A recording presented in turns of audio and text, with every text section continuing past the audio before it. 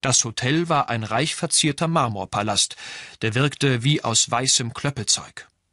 Die Fußböden waren mit ausladenden Seitenteppichen bedeckt, in die edlen Holzmöbel waren Intarsien aus Silber, Perlmutt und Elfenbein eingelassen, auf den Tischen standen Porzellanvasen, die von duftenden Blumen überquollen. Überall wucherten tropische Gewächse in großen Schalen aus getriebenem Kupfer, und in kompliziert verschachtelten Käfigen sangen bunt gefiederte Vögel. Einst war der Palast die Residenz eines Maharajas gewesen, aber der hatte nach der Unabhängigkeit Indiens seinen Einfluss und große Teile seines Vermögens verloren und das Gebäude schließlich an ein nordamerikanisches Hotelunternehmen verpachtet. Die Familie des Maharajas bewohnte noch immer einen der Seitenflügel, zu dem die Hotelgäste keinen Zutritt hatten. Nachmittags konnte man die Familie unten im Salon antreffen, wo sie mit den Touristen den Tee zu nehmen pflegte.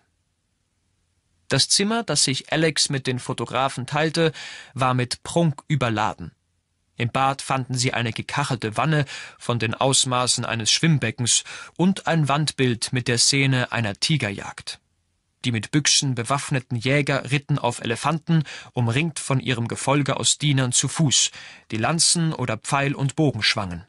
Das Zimmer befand sich im obersten Stockwerk des Hotels, und vom Balkon aus hatte man einen Blick über die wundervolle Gartenanlage, die von der Straße durch eine hohe Mauer getrennt war.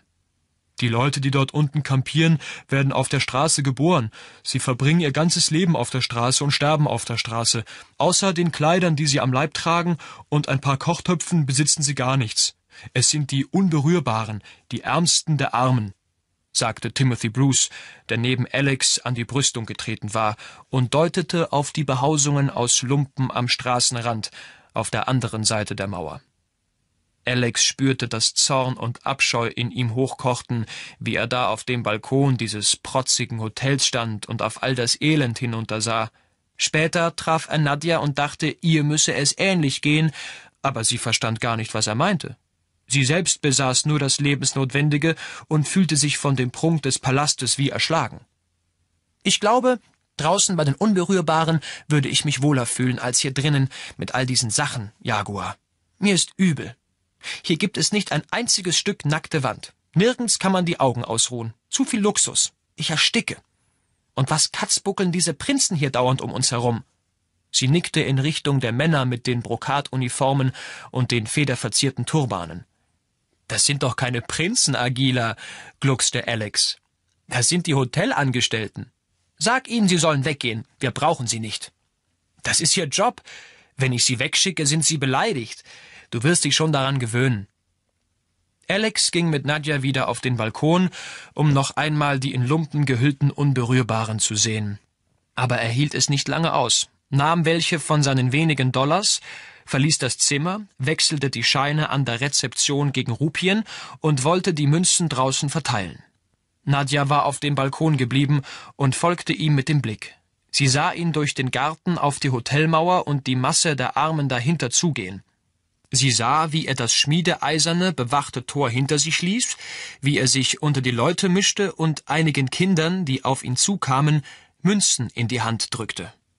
Im nächsten Moment war er umringt von einer Traube zerlumpter Gestalten.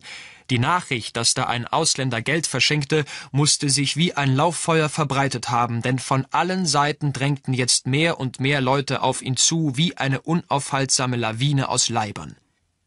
Als Nadja begriff, dass es eine Frage von Minuten sein würde, bis Alex von den Menschenmassen zu Boden getrampelt war, rannte sie die Treppe hinunter und durch den Garten und schrie aus Leibeskräften um Hilfe. Hotelgäste und Angestellte stürzten auf sie zu, fielen in ihr Rufen ein und stifteten nur noch mehr Verwirrung. Alle brüllten durcheinander, was jetzt zu tun sei, während die Sekunden dahinrasten. Es musste unverzüglich etwas geschehen, aber keiner schien zu wissen, was er machen sollte. Dann plötzlich war Tex Gürteltier da, und sofort kam Bewegung in die Sache. Schnell, mir nach! befahl er den bewaffneten Torwächtern. Er führte sie entschlossen mitten hinein in die brodelnde Menschenmasse auf der Straße, bahnte sich selbst mit den Fäusten einen Weg, während die Wachen mit ihren Gewehrkolben um sich schlugen. Tex Gürteltier riss einem von ihnen die Waffe aus der Hand und feuerte zwei Schüsse in die Luft. Um ihn herum stockten die Leute mitten in der Bewegung, aber von hinten schoben immer noch mehr Menschen nach. Tex Gürteltier nutzte die kurze Verwirrung, um sich bis zu Alexander vorzukämpfen, der sich schon mit zerfetzten Kleidern am Boden krümmte. Er angelte sich Alexanders Brille, die wie durch ein Wunder unversehrt neben ihm lag, packte ihn unter den Achseln und zerrte ihn mit Hilfe der Wachen zurück in den sicheren Garten. Sofort schlossen sich die Palasttore hinter ihnen, während das Handgemenge hinter der Mauer in lautstarken Tumult überging. Wenn Dummheit wehtäte, wärst du bloß am Brüllen, Alexander. Mit deinen paar Dollars änderst du doch nichts. Indien ist Indien. Man muss es hinnehmen, wie es ist, sagte Kate Cold, als sie ihn blutverschmiert und verdreckt ankommen sah. Mit der Haltung würden wir heute noch in Höhlen hocken und uns gegenseitig die Knüppel überziehen, fauchte er sie an und wischte sich das Blut von der Nase. Das tun wir doch auch, mein Junge. Im Grunde tun wir das doch. Sie hätte ihn am liebsten in den Arm genommen, so stolz war sie auf ihn. Auf der Hotelterrasse saß eine Frau unter einem großen weißen Sonnenschirm mit goldenen Trotteln und hatte die ganze Szene beobachtet. Sie musste Mitte vierzig sein, wirkte aber jünger, war schlank, groß gewachsen und sah sportlich aus in ihrem leichten, khakifarbenen Zweiteiler aus Hose und Hemd. Zwischen ihren Füßen, die in Sandalen steckten, lag eine stark abgenutzte Lederhandtasche auf dem Boden. Ihre schwarzen, glatten Haare mit einer einzigen breiten weißen Stirnlocke umrahmten ein Gesicht von klassischer Schönheit. Kastanienbraune Augen, dichte, geschwungene Brauen, eine gerade Nase und ein ausdrucksvoller Mund. Obwohl sie so schlicht gekleidet war, wirkte sie vornehm und elegant. Du bist sehr mutig, wandte sich die Unbekannte eine Stunde später an Alex, als sich die Gruppe des International Geographic auf der Hotelterrasse zusammenfand. Er spürte, dass seine Ohren glühten. Aber du solltest vorsichtiger sein, du bist hier nicht zu Hause. Die Frau sprach fehlerfreies Englisch, allerdings hatte sie einen leichten europäischen Akzent, der es einem schwer machte zu erraten, wo sie eigentlich herkam. Gerade brachten zwei Hoteldiener auf riesigen silbernen Tabletts für Kate und die anderen Chai, indischen Tee, der mit Milch, Gewürzen und jeder Menge Zucker getrunken wird. Kate lud die fremde Frau dazu ein. Sie hatte auch Tex Gürteltier gefragt, ob er sich anschließen wolle, denn sie war ihm sehr dankbar, dass er so schnell gehandelt und ihrem Enkel das Leben gerettet hatte, aber der Mann hatte gesagt, er trinke lieber ein Bier und saß jetzt Zeitung lesend etwas abseits. Alex wunderte sich, dass dieser komische Freak, der mit einem verschlissenen Seesack und einem Schlafsack reiste, in dem Maharaja-Palast abgestiegen war, aber wahrscheinlich kostete das gar nicht so viel. Für jemanden, der Dollars besaß, war Indien spottbillig.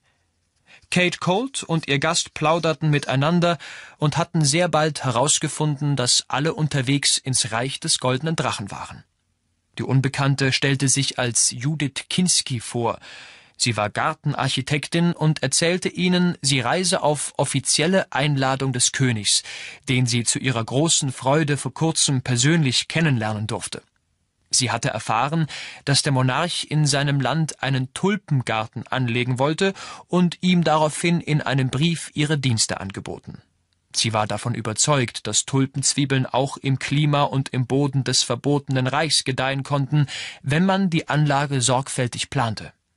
Der König hatte sie wenig später um ein persönliches Gespräch gebeten, und auf ihr Anraten hin hatten sie sich in Amsterdam getroffen, wo sie die weltberühmten holländischen Tulpen direkt vor Ort bewundern konnten.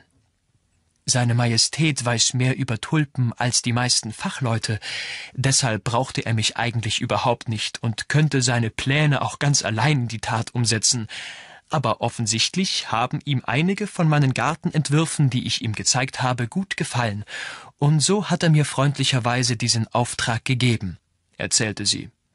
Wir haben uns lange über sein Vorhaben unterhalten, für sein Volk neue Parks und Gärten anzulegen, in denen neben den heimischen Pflanzen auch andere wachsen sollen. Er weiß, dass man sehr behutsam vorgehen muss, will man das ökologische Gleichgewicht nicht stören. Im verbotenen Reich gibt es noch einige Pflanzen, Vögel und kleine Säuger, die sonst überall ausgestorben sind. Das Land ist eine ökologische Schatzkammer. Für die Reisenden des International Geographic lag es auf der Hand, dass der König von Judith Kinski genauso angetan gewesen sein musste wie sie. Die Frau schlug einen in den Bann. Sie wirkte so selbstgewiss und gleichzeitig so anziehend weiblich, sie mussten sich zusammenreißen, denn am liebsten hätten sie Judith Kinski unentwegt angestarrt. Der König ist ein Vorkämpfer für die ökologische Sache. Schade, dass es nicht mehr von der Sorte unter den Regierenden gibt, sagte Kate. Er hat den International Geographic abonniert. Deshalb hat er uns gestattet, die Reportage über sein Land zu machen und dafür gesorgt, dass wir Visa bekommen. Ein faszinierendes Land, sagte Judith Kinski. Waren Sie schon einmal dort? wollte Timothy Bruce wissen. Nein, aber ich habe viel darüber gelesen. Ich habe versucht, mich möglichst gut auf diese Reise vorzubereiten, nicht nur auf meine Arbeit, sondern auch darauf, wie die Menschen dort leben, auf ihren Alltag, ihre Zeremonien. Ich möchte sie nicht mit meinen rüden westlichen Manieren vor den Kopf stoßen. Sie lächelte. Bestimmt haben Sie auch von diesem sagenumwobenen goldenen Drachen gehört, sagte Timothy Bruce. Es heißt, dass ihn außer den Königen nie jemand gesehen hat. Vielleicht ist er bloß eine Legende? Sie zuckte die Achseln.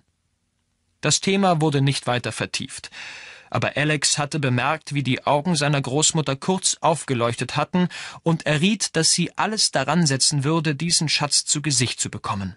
Sie war schließlich mit Leib und Seele Reporterin, und die Herausforderung, als erste die Existenz dieses Drachen zu beweisen, musste sie unwiderstehlich reizen. Kate Colt und Judith Kinski tauschten Nettigkeiten aus und versicherten einander, dass sie sich helfen würden, wie das unter Ausländern üblich ist, die in eine unbekannte Gegend reisen. Am anderen Ende der Terrasse saß Tex Gürteltier mit der Zeitung auf den Knien bei seinem Bier. Seine Augen konnte man hinter der verspiegelten Sonnenbrille nicht sehen, aber Nadja spürte, dass sein Blick prüfend auf der Gruppe ruhte. Es blieben ihnen nur drei Tage, um sich die Stadt anzusehen. Zum Glück sprachen viele Leute Englisch, denn Indien war ja früher britische Kolonie gewesen. Aber Kate hatte gesagt, sie sollten sich keine Hoffnungen machen. In der kurzen Zeit würden sie Neu-Delhi doch nur von außen betrachten können, und die verzwickte indische Gesellschaft zu verstehen sei ohnehin eine Lebensaufgabe. Die Gegensätze konnten einen in den Wahnsinn treiben. Unfassbares Elend auf der einen, Schönheit und Überfluss auf der anderen Seite. Millionen von Menschen hier konnten weder lesen noch schreiben, und gleichzeitig wurden an den Universitäten die besten Techniker und Wissenschaftler ausgebildet. In den Dörfern gab es kein Trinkwasser, aber das Land baute Atombomben. Indien besaß die größte Filmindustrie der Welt und die größte Zahl von Sadhus, die sich mit Asche bestreuten und sich nie die Haare und Fingernägel schnitten. Allein um bei den vielen tausend hinduistischen Göttern durchzublicken oder das Kastensystem zu verstehen, hätte man Jahre gebraucht. Alex, der aus den Vereinigten Staaten gewöhnt war, dass man aus seinem Leben mehr oder weniger machen konnte, was man wollte, fand es fürchterlich, dass einem der Lebensweg durch die Kaste, in die man hineingeboren wurde, vorgezeichnet sein sollte. Nadja dagegen hörte sich Kates Erklärungen kommentarlos an. Wenn du hier geboren wärst, könntest du noch nicht einmal selbst entscheiden, wen du heiraten willst, Agila. Mit zehn hätten sie dich an einen fünfzigjährigen Schmerbauch verheiratet. Dein Vater hätte alles eingefädelt und du dürftest noch nicht einmal Piep sagen. Alex war empört. Bestimmt würde mein Vater eine bessere Wahl treffen als ich. Nadja grinste. Hast du sie noch alle? Ich würde mir das nie gefallen lassen. Wenn wir bei den Nebelmenschen am Amazonas aufgewachsen wären, müssten wir mit vergifteten Pfeilen auf die Jagd gehen, um für etwas Essbares zu sorgen. Wären wir hier aufgewachsen, würden wir es ganz normal finden, dass unsere Eltern uns verheiraten, sagte Nadja. Wie kannst du so ein Leben verteidigen? Sieh dich doch mal um, all die Armen. Würdest du so leben wollen? Nein, Jaguar, aber ich würde auch nicht zwischen lauter unnützem Krempel leben wollen. Zusammen mit Kate besichtigten Alex und Nadja Paläste und Tempel und streiften über Märkte, wo Alex Armkettchen für seine Mutter und seine Schwestern erstand und Nadja sich wie eine indische Braut die Hände mit Henna bemalen ließ. Das würde ungefähr drei oder vier Wochen halten und sah ein bisschen so aus, als hätte sie feine rote Spitzenhandschuhe an. Boroba hockte wie immer auf ihrer Schulter oder klammerte sich an ihre Hüfte, erregte aber keinerlei Aufsehen, denn anders als in New York waren Affen hier ein alltäglicherer Anblick als Hunde.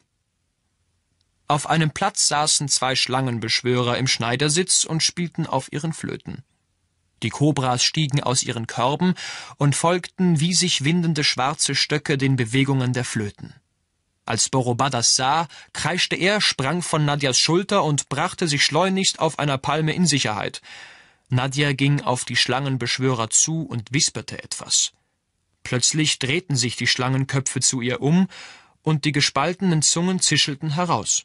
Vier Pupillenschlitze bohrten ihren Blick wie Messer in Nadja. Bevor irgendwer begreifen konnte, was vorging, waren die Kobras aus ihren Körben geglitten und schlängelten auf Nadja zu. Ein Aufschrei ging durch die Menge, und die Umstehenden stoben auseinander. Von einem Augenblick auf den anderen war der Platz wie leergefegt. Nur Alex und seine Großmutter hatten sich, gelähmt vor Schreck, nicht von der Stelle bewegt. Die Schlangenbeschwörer versuchten verzweifelt, die Tiere mit ihren Flöten zurückzulocken, trauten sich jedoch nicht nahe heran. Nadja stand völlig gelassen da und sah ziemlich erheitert aus. Sie rührte sich auch keinen Millimeter von der Stelle, als sich die Kobras unablässig zischelnd ihre Beine hinaufwanden, sich um ihre schmale Taille ringelten, ihren Hals und schließlich ihr Gesicht erreichten. In kalten Schweiß gebadet, hatte Kate zum ersten Mal in ihrem Leben das Gefühl, ohnmächtig zu werden. Ihre Beine knickten unter ihr weg, sie sackte käseweiß im Gesicht und mit verdrehten Augen auf den Boden und konnte keinen Ton herausbringen. Als Alex sich von dem ersten Schrecken erholt hatte, wusste er sofort, dass er sich nicht bewegen durfte. Seine Freundin hatte ihm oft gezeigt, dass sie magische Fähigkeiten besaß. Bei ihr zu Hause hatte er einmal gesehen, wie sie einer Surukuku, eine der gefährlichsten Giftschlangen der Welt, mit der bloßen Hand gepackt und weit weggeschleudert hatte. Solange keiner etwas Unbedachtes tat und die Kobras aufscheuchte, würde Agila nichts zustoßen. Es vergingen mehrere Minuten, bis Nadja schließlich in ihrer Waldsprache einen Befehl gab und die Schlangen an ihr hinab und zurück in die Körbe glitten. Sofort warfen die Schlangenbeschwörer die Deckel darüber, rafften alles zusammen und rannten weg, denn diese Ausländerin mit den Federn im Haar konnte doch nur ein Dämon sein. Nadja rief Boroba zu sich, und als der wieder auf ihrer Schulter hockte, schlenderte sie in aller Seelenruhe weiter über den Platz. Alex ging wortlos hinter ihr her und fand es urkomisch, dass seine unerschrockene Großmutter zumindest dieses eine Mal restlos die Fassung verloren hatte.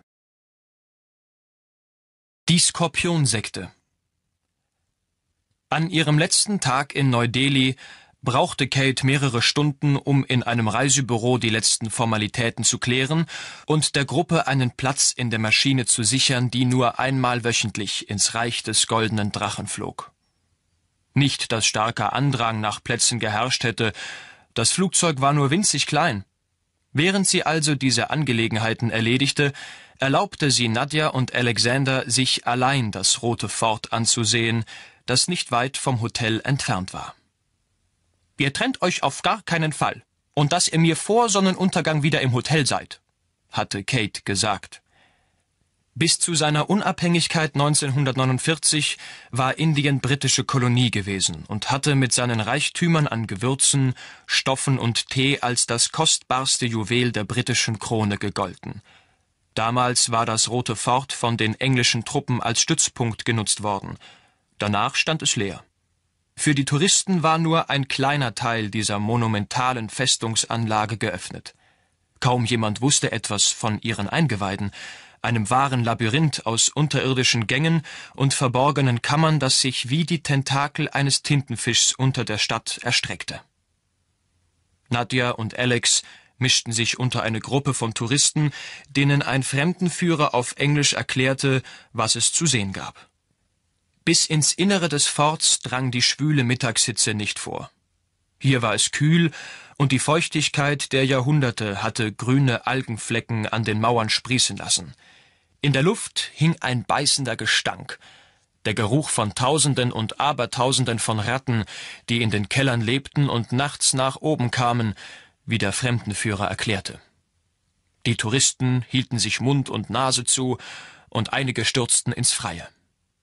Plötzlich zupfte Nadja Alex am T-Shirt und deutete in eine Ecke des Saales, wo Tex Gürteltier an einer Säule lehnte und sich suchend umsah, als erwarte er jemanden.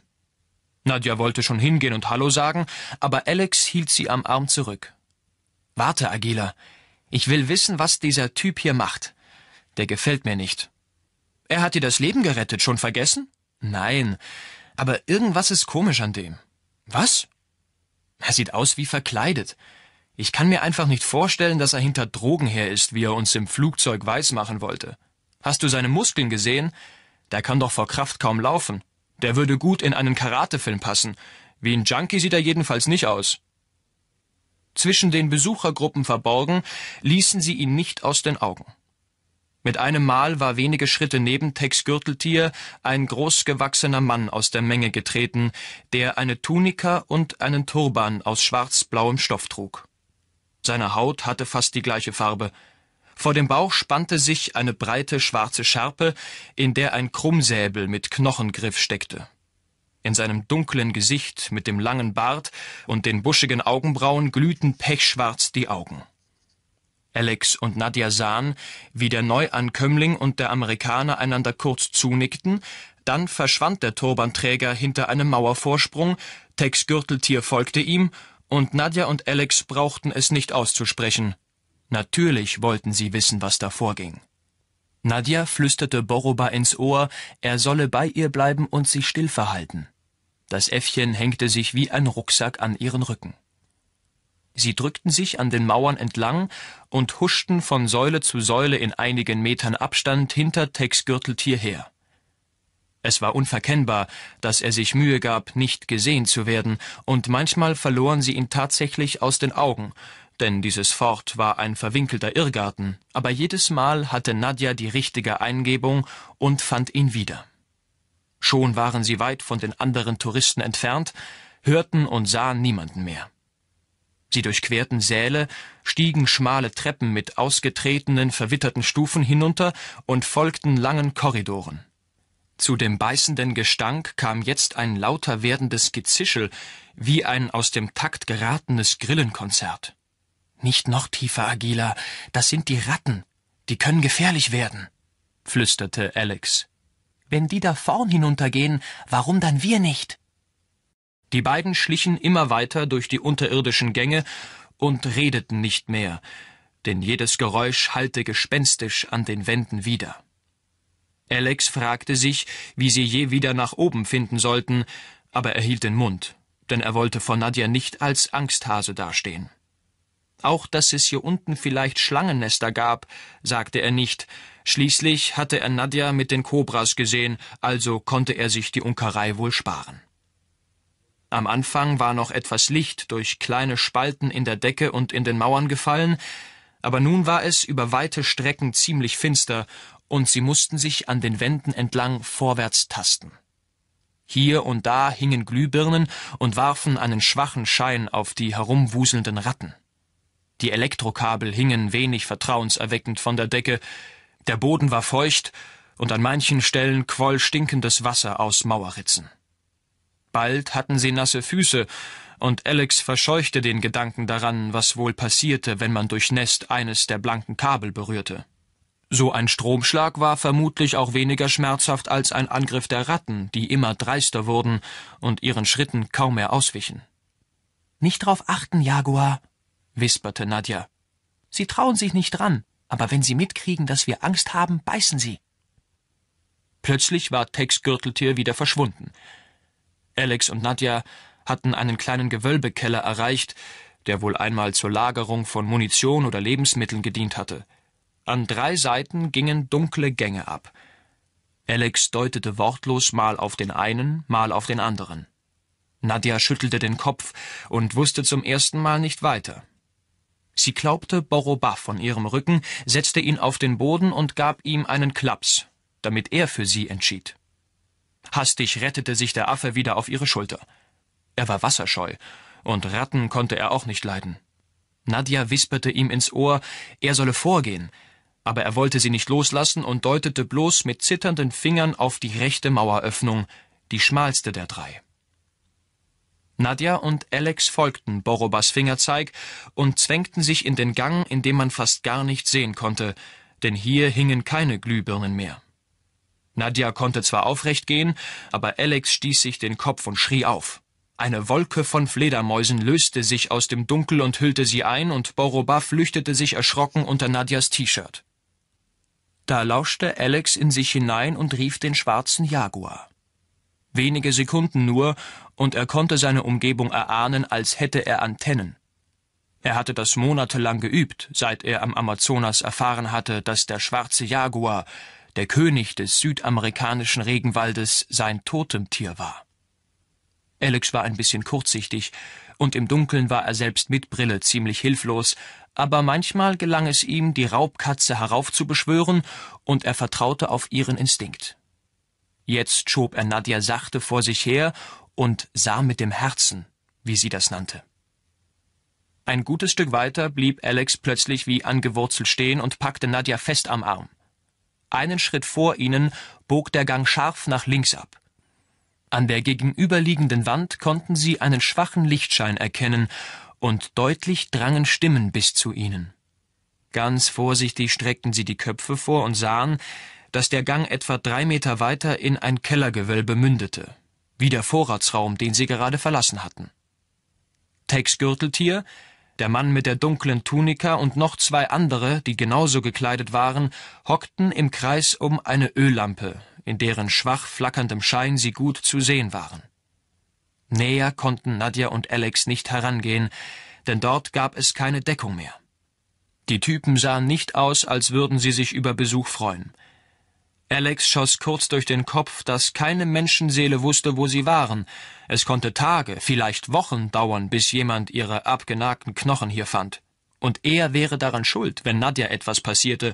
Schließlich war es seine Idee gewesen, hinter Tex Gürteltier herzugehen, und das hier fand er jetzt überhaupt nicht mehr komisch. Die Männer redeten Englisch miteinander, und Tex Gürteltier war gut zu verstehen. Aber bei den anderen konnte man bloß raten, was es heißen sollte, Eins war allerdings auch ohne Worte schnell klar, es ging um ein Geschäft. Sie sahen, wie Tex Gürteltier dem einen, der offensichtlich der Anführer war, ein Bündel Geldscheine in die Hand drückte. Dann besprachen die vier lange so etwas wie einen Aktionsplan. Es war von Waffen die Rede, von Bergen und von einem Tempel oder Palast. Da waren sich Alex und Nadja nicht ganz sicher. Der Anführer faltete eine Landkarte auf, legte sie auf den Boden, strich sie mit der Hand glatt und fuhr mit der Spitze seines Säbels einen Weg nach. Die Öllampe beleuchtete den Mann von vorn, so dass die beiden ihn gut sehen konnten. Was auf der Karte war, konnte man dagegen auf diese Entfernung nicht erkennen, aber Nadja und Alex fiel ein Brandzeichen auf dem dunklen Handrücken auf, das sich am Knochengriff des Säbels wiederholte. Es war ein Skorpion. Für Alexanders Gefühl hatten sie genug gesehen, und er drängte darauf, abzuhauen, ehe die Männer ihr Treffen für beendet erklärten. Es gab nur einen einzigen Weg aus diesem Gewölbe, und dort standen sie. Sie mussten schleunigst hier verschwinden. Nadja bot Boroban noch einmal um Rat, und der Affe zeigte ihnen von Nadjas Schulter aus ohne Schwierigkeiten den Weg. Alex, dem ein Stein vom Herzen fiel, dachte an das, was sein Vater ihm immer geraten hatte, wenn sie zusammen Bergsteigen gingen. Nimm dir die Hindernisse eines nach dem anderen vor. Wenn du darüber nachdenkst, was womöglich noch alles auf dich zukommt, vergeudest du bloß deine Energie. Jetzt fand er es ein bisschen albern, dass er sich ständig solche Sorgen machte, als würde alles immer nur von ihm abhängen. Schließlich hatte ihm Nadja doch oft genug bewiesen, dass sie eine Menge drauf hatte. Er sollte sie nicht unterschätzen. Eine Viertelstunde später waren sie wieder auf dem Niveau der Straße und hörten schon bald die Stimmen der Touristen. Schnell mischten sie sich unter die Menge, Tex Gürteltier sahen sie nicht mehr. Weißt du etwas über Skorpione, Kate? fragte Alex seine Großmutter, als sie sich im Hotel wieder trafen. In Indien gibt es ein paar, die ziemlich giftig sind. Falls dich einer gestochen hat, kannst du dran sterben. Hoffentlich fragst du nicht deshalb. Für Beerdigungen habe ich jetzt keine Zeit. Sie sagte das so dahin. Bisher hat mich keiner gestochen. Wieso fragst du dann? Weil ich gerne wissen würde, ob der Skorpion etwas bedeutet, ob er zum Beispiel ein religiöses Symbol ist. Die Schlange ist eins, vor allem die Kobra. Es heißt, dass Buddha während der Meditation von einer riesigen Kobra beschützt worden ist, aber der Skorpion, hm, keine Ahnung. Kannst du etwas darüber herausfinden? Ich müsste die Nervensäge Ludovic Leblanc danach fragen. Willst du mir allen Ernstes ein solches Opfer abverlangen, mein Junge? Vielleicht ist es wichtig, Oma. Äh, sorry. Kate, natürlich. Sie stöpselte ihren Laptop ein und schickte dem Professor eine Nachricht. Schon wegen der Zeitverschiebung hätte sie nicht mit ihm telefonieren können. Sie hatte keine Ahnung, wie lange sie auf eine Antwort würde warten müssen, hoffte jedoch, dass sie schnell käme, denn im verbotenen Reich würde sie vielleicht keinen Internetanschluss haben. Weil sie nun schon einmal dabei war, schrieb sie gleich noch eine Mail an ihren Freund Isaac Rosenblatt, um ihn nach diesem goldenen Drachen zu fragen, den es angeblich in dem Land gab, in das sie fuhren. Zu ihrer Überraschung meldete sich der Juwelier sofort. Mädchen, wie schön von dir zu hören. Natürlich weiß ich etwas über diese Statue. Jeder Juwelier, der etwas auf sich hält, kennt die Beschreibung. Es handelt sich nämlich um eines der ungewöhnlichsten Objekte der Welt und um eines der kostbarsten noch dazu. Allerdings hat außer den Königen nie irgendwer diesen berühmten Drachen gesehen, und Fotos gibt es auch keine, nur einige Zeichnungen.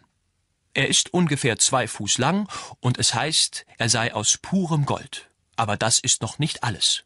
Die Goldschmiedearbeit ist sehr alt und einzigartig schön. Außerdem ist er mit Edelsteinen besetzt, allein die beiden völlig gleichen, makellosen Sternrubine in seinen Augen sind ein Vermögen wert. Warum fragst du? Du willst ihn doch nicht etwa stehlen, wie diese drei Amazonas-Diamanten? Anstatt ihm noch einmal zu erzählen, dass Nadja die Steine gefunden hatte, versicherte Kate dem Juwelier, genau das habe sie vor. Ihr konnte es nur recht sein, wenn Isaac Rosenblatt ihr einen Coup dieser Größenordnung zutraute. Dadurch würde das Interesse ihres alten Verehrers nicht nachlassen. Sie lachte auf, als sie die Antwort abschickte, aber das Lachen wurde schnell zum Husten. Ihre unzähligen Westentaschen betastend, fand sie schließlich den Flachmann mit der Amazonasmedizin.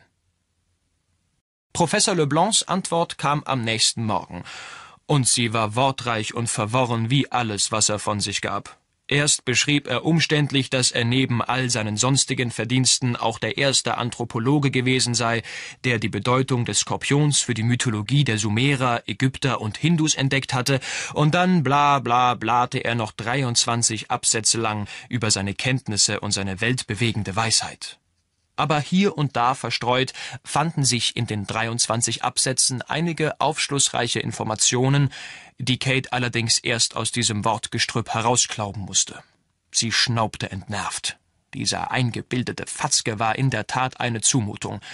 Sie musste den Brief mehrmals lesen, bis sie das Entscheidende zusammenfassen konnte.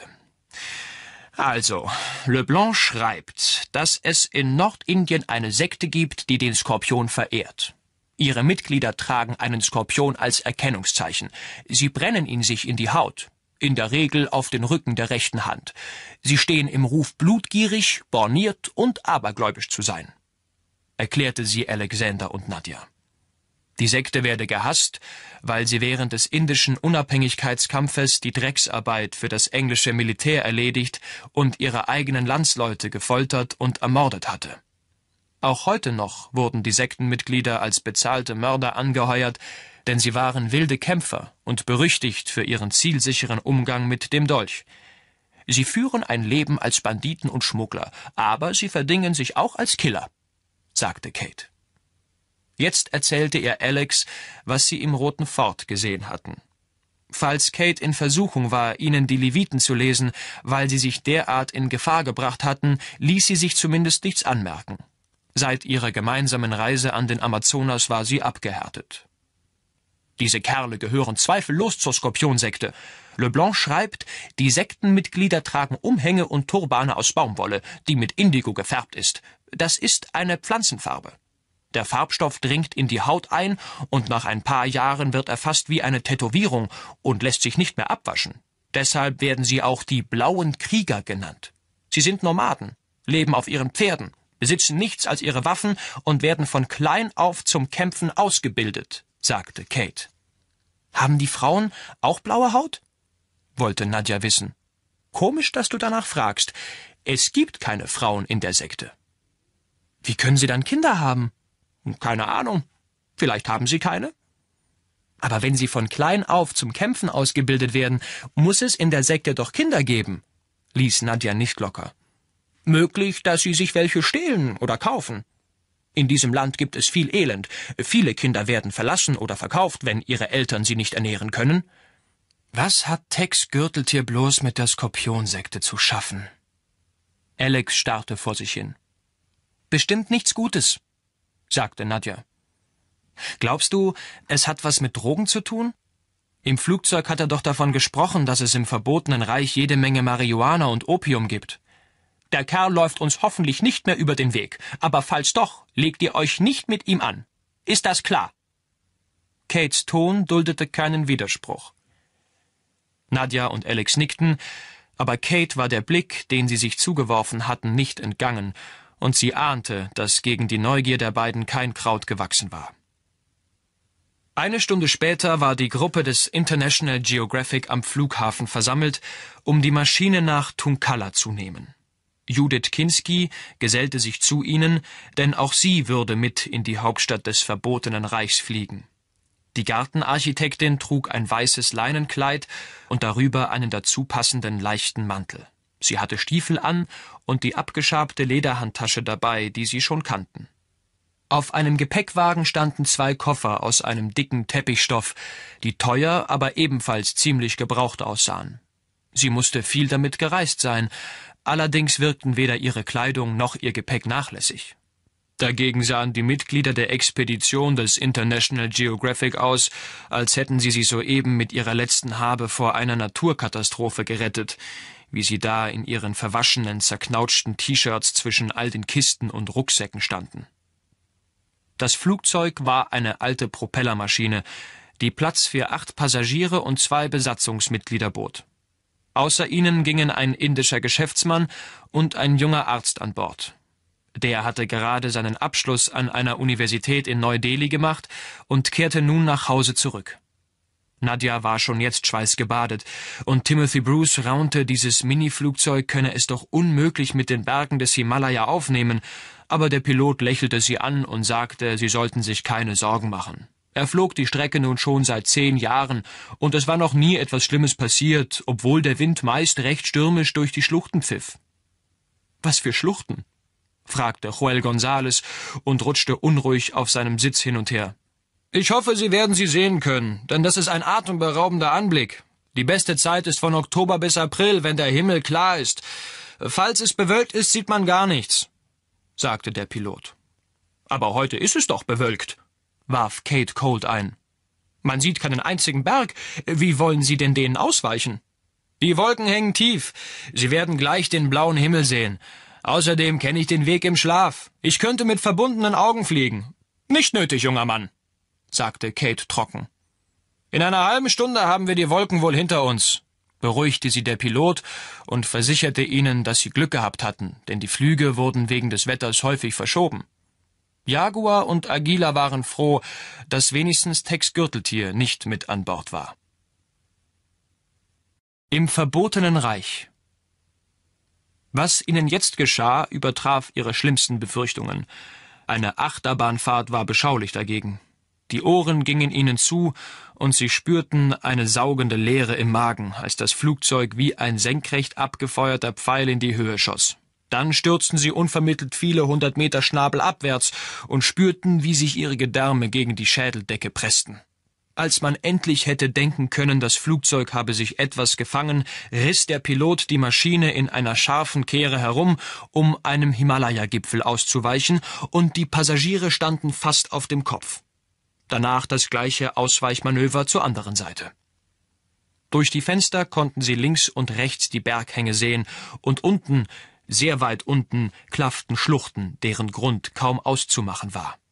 Eine falsche Bewegung oder ein Zaudern des Piloten und diese Spielzeugmaschine würde an den Felsen zerschellen oder wie ein Stein vom Himmel fallen. Der Wind kam mal von hier, mal von da, schob sie einmal in einem Höllentempo an, blies dann plötzlich, kaum waren sie an einem Berg vorbei, von vorn, so dass es aussah, als würden sie sich nicht mehr vom Fleck bewegen. Der indische Geschäftsmann und der junge Arzt aus dem verbotenen Reich klammerten sich etwas nervös an die Armstützen ihrer Sitze, versicherten indes, sie würden das schon kennen. Die anderen pressten sich beide Hände auf den Magen, um die Übelkeit und die Angst unter Kontrolle zu halten. Keiner sagte ein Wort. Bloß Joel Gonzales murmelte kreidebleich im Gesicht Gebete vor sich hin und streichelte das Silberkreuz um seinen Hals. Alle linsten von Zeit zu Zeit zu Judith Kinski hinüber, die es bei dem Geschaukel sogar schaffte, in einem Buch über Tulpen zu blättern. Ein paar Stunden, lang wie Tage ging das so, bis sie schließlich das verbotene Reich von oben sehen konnten. Zwischen majestätischen, verschneiten Bergen schlängelten sich enge Täler, an deren Hängen Terrassen mit üppiger subtropischer Vegetation hinaufwuchsen. Wie Ansammlungen weißer Puppenhäuschen konnte man hier und da verstreut Dörfer erkennen, manche davon an völlig unzugänglichen Stellen. Die kleine Hauptstadt lag am Ende eines langgezogenen Talkessels. Es schien ausgeschlossen, hier zu landen, aber der Pilot war mit allen Wassern gewaschen. Er ging tiefer, machte über der Stadt kehrt und hielt wenig später im Sturzflug auf eine kurze, in den Wald geschlagene Schneise zu. Als das Fahrwerk schließlich den Boden berührte, bejubelten ihn seine Passagiere wie einen Helden. Von draußen wurde eine kleine Treppe herangeschoben und die Flugzeugtür ging auf. Ächzend erhoben sich die Passagiere von ihren Sitzen und torkelten mit dem Gefühl, sich gleich übergeben zu müssen oder die Besinnung zu verlieren, auf die Öffnung zu. Bloß Judith Kinski bewahrte so etwas wie Haltung. Als erste war Kate Colt an der Tür. Ein frischer Luftzug wehte ihr ins Gesicht und brachte sie zurück unter die Lebenden. Sie staunte nicht schlecht, denn am Fuß der Treppe lag ein kunstvoll geknüpfter Teppich, der vom Flugzeug bis zu einem kleinen, bunt bemalten Holzgebäude mit Pagodendach führte. Zu beiden Seiten des Teppichs standen Kinder mit Körben voller Blütenblätter im Arm. Die ganze Strecke war von schlanken Pfosten gesäumt, an denen lange Seidenstandarten im Wind flatterten. Etliche Musiker mit leuchtend bunten Gewändern und ausladenden Hüten standen mit Trommeln und Blechblasinstrumenten vor dem Holzgebäude. Am Fuß der Treppe warteten vier Würdenträger in festlichem Ornat. Seidenröcke mit breiten, straff gebundenen Schärpen in dunkelblau, ein Zeichen für die Ministerwürde, lange mit Korallen und Türkisen bestickte Jacken, hohe spitze Lederhüte mit Goldverzierungen und Bändern. In den Händen hielten sie dünne weiße Schals. Huch, was für ein schöner Empfang. Damit hatte ich gar nicht gerechnet, rief Kate und strich sich ihre grauen Pinselhaare und die fürchterliche Tausend-Taschen-Weste zurecht. Dann schritt sie, gefolgt von ihren Gefährten, die Treppe hinunter, lächelte und winkte, aber niemand erwiderte ihren Gruß.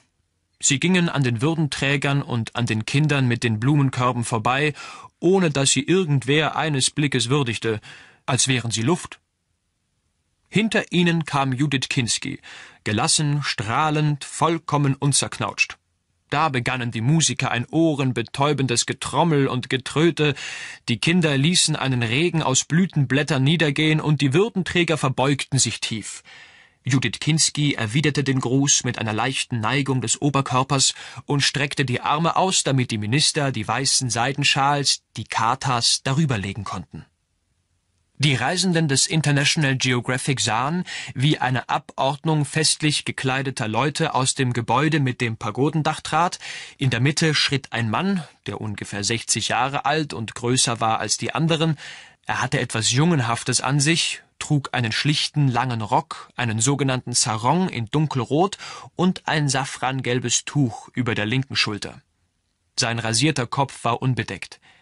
Er ging barfuß und sein einziger Schmuck waren ein Gebetskettchen aus Bernsteinperlen am Arm und ein Medaillon, das um seinen Hals hing. Trotz seines schlichten Auftretens, das in solch krassem Widerspruch zu der pompösen Kleidung der anderen stand, wussten sie sofort, dass er der König war. Sie traten ein Stück zur Seite, um ihm Platz zu machen, und folgten unwillkürlich dem Beispiel der Umstehenden, die sich tief verbeugten. Der König begrüßte Judith Kinski mit einer Neigung des Kopfes, und sie erwiderte die Geste schweigend. Begleitet von einer Reihe komplizierter Ehrenbezeugungen tauschten sie dann die Begrüßungsschals. Judith Kinski durchlief die Zeremonie, ohne ein einziges Mal ins Stocken zu geraten. Sie hatte nicht übertrieben, als sie zu Kate Colt sagte, sie habe sich gründlich auf die Gepflogenheiten im verbotenen Reich vorbereitet. Als die förmliche Begrüßung beendet war, schenkten sie und der König einander ein herzliches Lächeln und gaben sich, wie im Westen üblich, die Hand. Willkommen in unserem bescheidenen Land, sagte der Monarch in einem sehr britischen Englisch. Der König und sein Gast zogen sich zurück, das vielköpfige Gefolge hinterher, während Kate und die anderen sich reichlich verdattert am Kopf kratzten. Judith Kinski musste ja mächtig Eindruck auf den König gemacht haben, dass der diese Landschaftsgärtnerin, die in seinem Park ein paar Tulpenzwiebeln vergraben sollte, empfing wie eine Botschafterin mit Sondervollmachten. Sie waren gerade dabei, ihre Rucksäcke und die Kisten mit den Kameras und Stativen der Fotografen aus dem Flugzeug zu laden, als ein Mann zu ihnen trat, der sich als Wanji vorstellte, ihr Reiseführer und Dolmetscher. Er trug die landesübliche Tracht, einen Sarong mit einer gestreiften Schärpe, eine ärmellose kurze Weste und weiche Lederstiefel. Kate wunderte sich über den italienischen Hut, so einen, wie man ihn von den Gangstern in Mafia-Filmen kennt. Sie verstauten das Gepäck in einem klapprigen Jeep, zwängten sich irgendwie dazwischen und fuhren los in Richtung Hauptstadt, die nach Wanjis Worten gleich da vorn lag, wobei die Fahrt dann knapp drei Stunden dauerte, weil sich das, was er Straße nannte, als schmaler, kurvenreicher Feldweg entpuppte. Ihr Reiseleiter sprach ein altmodisches Englisch, und seine Betonung war gewöhnungsbedürftig, als habe er die Sprache aus Büchern gelernt und wenig Gelegenheit gehabt, sie auch tatsächlich einmal mit jemandem zu sprechen. Auf dem Weg sahen sie viele Wanderer in Mönchsumhängen, Männer und Frauen, alte und junge, manche noch Kinder von vielleicht fünf oder sechs Jahren, die mit ihren Blechnäpfen in der Hand an den Haustüren um etwas zu essen baten auch schwer mit Taschen behängte Bauern, Jugendliche auf Fahrrädern und Ochsenkarren waren hier unterwegs. Die Menschen sahen alle sehr schön aus. Sie waren mittelgroß, ihre Gesichter hatten etwas Vornehmes und ihre Haltung war würdevoll. Alle lächelten, als hätten sie eine natürliche Neigung zum Frohsein. Die einzigen motorisierten Gefährte, die dem Jeep begegneten, waren ein uraltes Motorrad, das mehr schlecht als recht mit einem Regenschirm überdacht war, und ein knallbunt bemalter Kleinbus, der ihnen vollgestopft mit Menschen, Tieren und Gepäck entgegenrumpelte. Sie mussten in den Graben ausweichen, denn der Weg war für zwei Vehikel zu schmal. Wanji sagte, der König besitze mehrere neue Automobile und Judith Kinski sei sicher bereits seit einer Weile im Hotel. Der König ist wie ein Mönch gekleidet, wunderte sich Alex. Seine Majestät ist unser geistliches Oberhaupt. Die ersten Jahre seines Lebens hat er in einem Kloster in Tibet verbracht. Er ist ein heiliger Mann, sagte Wanji und ließ für einen Moment das Steuer los, um die Hände vor dem Gesicht zu falten und den Kopf respektvoll zu neigen. Aber er ist doch verheiratet. Ich dachte, Mönche durften das nicht, sagte Kate Colt. Viele Mönche leben tatsächlich im Zölibat, aber der König soll heiraten, damit der Krone Kinder geschenkt werden. Seine Majestät ist Witwer. Seine geliebte Gattin starb vor zehn Jahren. Wie viele Kinder hat er denn? Sie wurden mit vier Söhnen und fünf Töchtern gesegnet. Einer seiner Söhne wird einmal König sein. Hier ist es nicht wie in England, wo der Älteste die Krone erbt. Bei uns wird der Sohn mit dem reinsten Herzen zu unserem König, wenn sein Vater stirbt, erklärte ihnen Wanji. Wie weiß man, welcher das reinste Herz hat? wollte Nadja wissen. Der König und die Königin kennen ihre Kinder gut und schätzen sie eigentlich immer richtig ein, aber ihre Entscheidung muss vom großen Lama bestätigt werden, der die Sterne befragt und das ausgewählte Kind vielen Proben unterzieht, um zu ergründen, ob es wirklich die Wiedergeburt eines früheren Herrschers ist. Wanji erzählte ihnen, dass die Proben niemals fehlgingen, so musste der Prinz sieben Gegenstände erkennen, die schon dem ersten Herrscher im Reich des goldenen Drachen vor 1800 Jahren gehört hatten. Die Gegenstände wurden mit anderen zusammen auf den Boden gelegt und das Kind wählte aus. Bestand es diese erste Probe, musste es ein Wildpferd reiten. Wenn das Kind die Wiedergeburt eines Königs war, spürte das Tier seine Macht und wurde ruhig. Auch musste der zukünftige König die eisigen Stromschnellen des heiligen Flusses durchschwimmen. Denjenigen, die ein reines Herz hatten, half die Strömung, die anderen gingen unter. Die Proben für den Prinzen hatten noch nie versagt. Im Laufe seiner langen Geschichte hatten immer gerechte und weitblickende Herrscher das verbotene Reich regiert, sagte Wanji, und das Land war nie überfallen oder kolonialisiert worden, obwohl sein Heer der Übermacht aus Indien oder China niemals hätte standhalten können. Von den Kindern des jetzigen Königs war der jüngste Sohn, der noch ein kleiner Junge gewesen war, als seine Mutter starb, dazu ausersehen, den Thron von seinem Vater zu erben. Die Lamas hatten ihm den Namen gegeben, den er bereits in früheren Wiedergeburten getragen hatte, Dil Bahadur, tapferes Herz. Seit er ausgewählt worden war, hatte ihn niemand mehr gesehen, denn er wurde an einem geheim gehaltenen Ort unterrichtet. Kate Colt nutzte die Gelegenheit, Wanji nach dem goldenen Drachen zu fragen. Er reagierte zwar etwas zugeknöpft, dennoch ließen sich aus seiner ausweichenden Antwort einige Schlüsse ziehen. Offensichtlich konnte die Statue die Zukunft vorhersagen, aber nur der König war imstande, das verschlüsselte Orakel zu deuten. Er musste ein reines Herz haben, da die Macht des goldenen Drachen einzig dem Wohl des Landes dienen sollte und niemals persönlichen Zielen. Das Herz des Königs durfte keine Habgier kennen. Sie kamen an Bauernhäusern und vielen Tempeln vorbei, die man schon von weitem an den im Wind flatternden Gebetsfahnen erkennen konnte, die den langen Standarten am Flughafen ähnelten. Ihr Reiseführer grüßte alle Leute, denen sie unterwegs begegneten. Anscheinend kannte hier jeder jeden. Immer wieder überholten sie Gruppen von kleinen Buben, die in dunkelrote Mönchsumhänge gehüllt waren, und Wanji erklärte ihnen, dass man die meisten Kinder in Klöstern unterrichtete, in die sie aufgenommen wurden, wenn sie fünf oder sechs Jahre alt waren. Manche blieben ihr Leben lang im Kloster, weil sie dem Vorbild ihrer Meister, der Lamas, folgen wollten. Die Mädchen besuchten ihre eigenen Schulen, es gab eine Universität im Land, aber die meisten Studenten wurden in Indien und einige in England ausgebildet, wenn ihre Eltern es sich leisten konnten oder sie ein staatliches Stipendium bekamen. Auf den Dächern einiger kleiner Lebensmittelläden waren Fernsehantennen angebracht. Wanji erklärte, dass sich die Bewohner der umliegenden Häuser dort trafen, wenn etwas gesendet wurde. Allerdings gab es nicht rund um die Uhr Strom, weshalb die Sendezeiten von Tag zu Tag wechselten. Er erzählte ihnen auch, dass es fast überall im Land Telefon gab. Fand man keine Poststation, konnte man zum Telefonieren in die Klosterschule gehen, wo immer ein Apparat vorhanden war. Zu Hause hatte natürlich keiner ein Telefon, das brauchte man ja auch nicht. Timothy Bruce warf Joel Gonzales einen skeptischen Blick zu und fragte, ob ihre Handys hier wohl funktionieren würden. Wegen der Berge ist die Reichweite dieser Telefone recht begrenzt, daher kennt man sie hier fast nicht.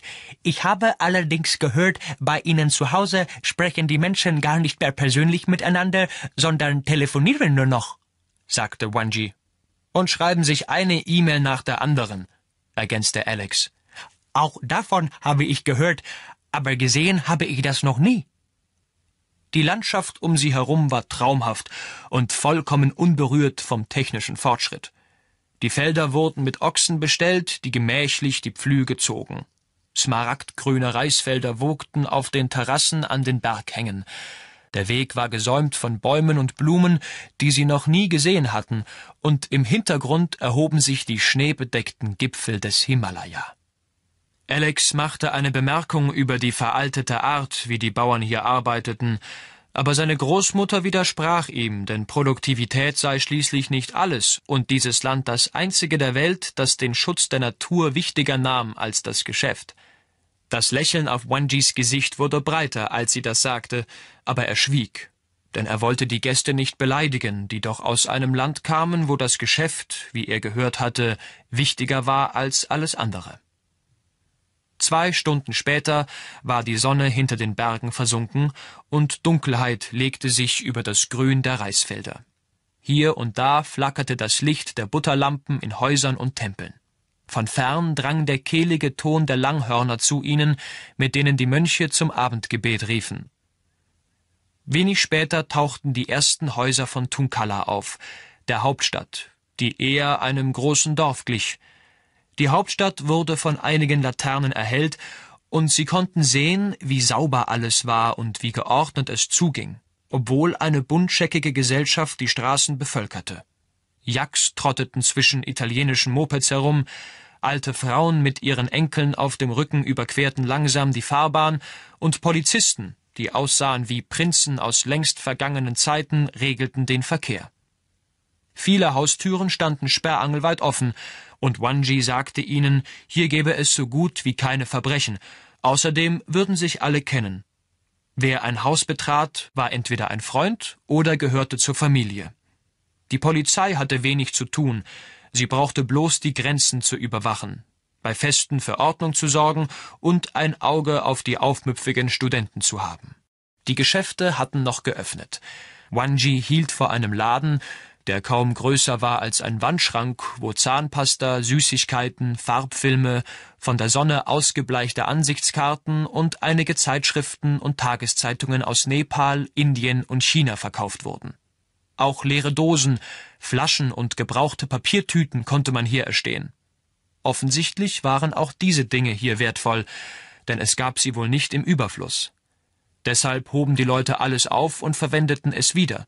Eine Plastiktüte oder ein Gefäß aus Glas waren kleine Schätze.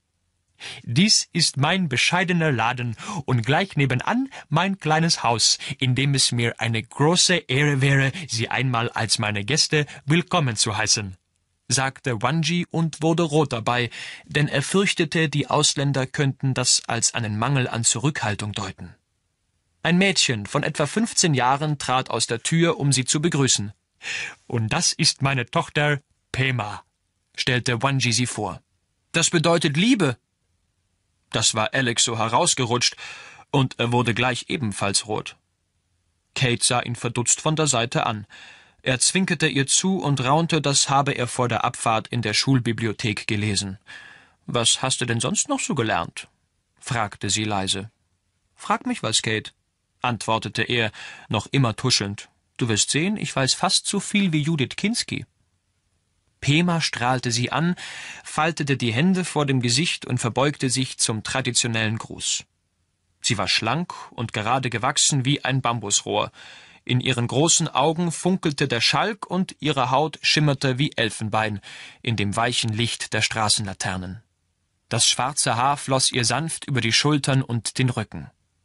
Auch Pema trug, wie alle anderen Leute, die sie gesehen hatten, die Nationaltracht. Die Kleidung der Frauen unterschied sich kaum von der der Männer, alle trugen einen Rock oder Sarong und dazu eine Jacke oder Bluse.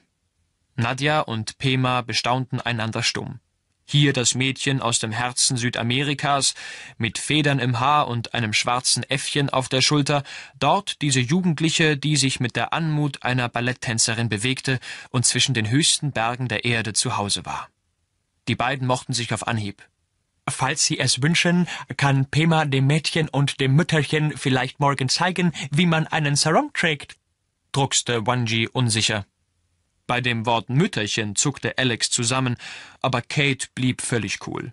Ihre und Nadjas kurze Hosen mussten wohl sehr anstößig wirken, wenn der zurückhaltende Wanji es wagte, einen solchen Vorschlag zu machen. Das wäre sehr freundlich. Herzlichen Dank.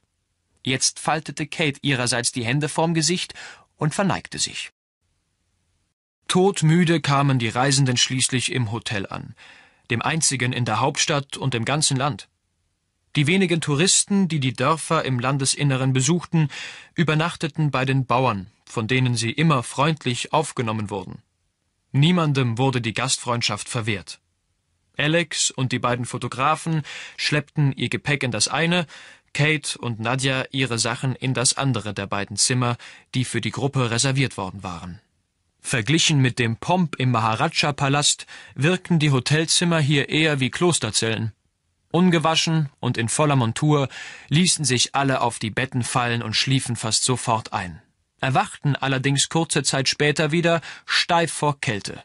Es war schlagartig bitterkalt geworden, Sie kramten nach ihren Taschenlampen und fanden in einer Ecke des Zimmers ordentlich aufgeschichtet einen Stapel dicker Wolldecken, so dass sie warm eingemummelt weiterschlafen konnten, bis sie im Morgengrauen vom dunklen Dröhnen der schweren Langhörner geweckt wurden, mit denen die Mönche zum Gebet riefen.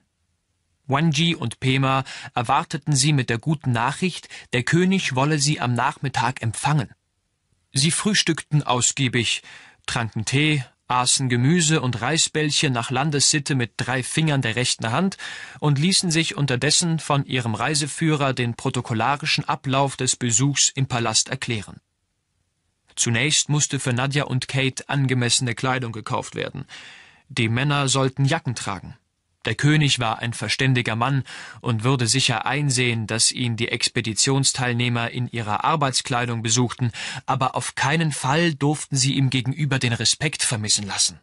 Wanji erklärte ihnen, wie die Katas, die Zeremonienschals, getauscht wurden, dass sie sich an die Stelle, die ihnen zugewiesen wurde, hinknien sollten, bis sie aufgefordert wurden, sich zu setzen, und dass sie das Wort nicht an den König richten sollten, ehe der sie ansprach. Falls man ihnen etwas zu essen oder Tee anbot, sollten sie dreimal dankend ablehnen und dann langsam und schweigend essen, um ihre Achtung gegenüber den Speisen auszudrücken. Es galt als unhöflich, während des Essens zu sprechen. Boroba sollte vorsichtshalber bei Pema bleiben. Wanji wusste nicht, was das Protokoll in Bezug auf Affen vorsah. Kate Colt schaffte es, ihren Laptop an eine der Telefondosen des Hotels anzuschließen und konnte so Nachrichten an den International Geographic und an Professor Ludovic Leblanc schicken. Der Kerl war zwar nicht ganz richtig im Kopf, aber man musste zugeben, dass er auch eine unerschöpfliche Informationsquelle war. Kate fragte ihn nach der Ausbildung der Könige und nach den Geschichten über den goldenen Drachen. Es dauerte nicht lange, da bekam sie eine vermutlich erschöpfende Antwort in Form eines seitenlangen Aufsatzes und beschloss, die Lektüre auf später zu verschieben. Pema begleitete Kate und Nadja zu einem Laden, in dem Sarongs verkauft wurden, und jede der beiden kaufte sich drei. Denn falls es regnete, mussten die Röcke Zeit zum Trocknen haben. Sie hatten einige Mühe damit, den Stoff richtig zu wickeln und ihn dann mit den Schärpen festzubinden. Erst saß er zu eng, und sie konnten keinen Schritt gehen, dann hing er so schlapprig an ihren Hüften, dass sie bei der kleinsten Bewegung im Freien standen. Nadja hatte die Technik nach ein paar Versuchen heraus, aber Kate war in dem Sarong ähnlich beweglich wie eine bandagierte Mumie. Sie konnte sich nicht hinsetzen und trippelte darin vorwärts wie eine Gefangene in Fußfesseln, Alex und die Fotografen konnten sich vor Lachen nicht halten, als sie sahen, wie Kate leise fluchend und hustend versuchte, ihre verhedderten Füße zu sortieren.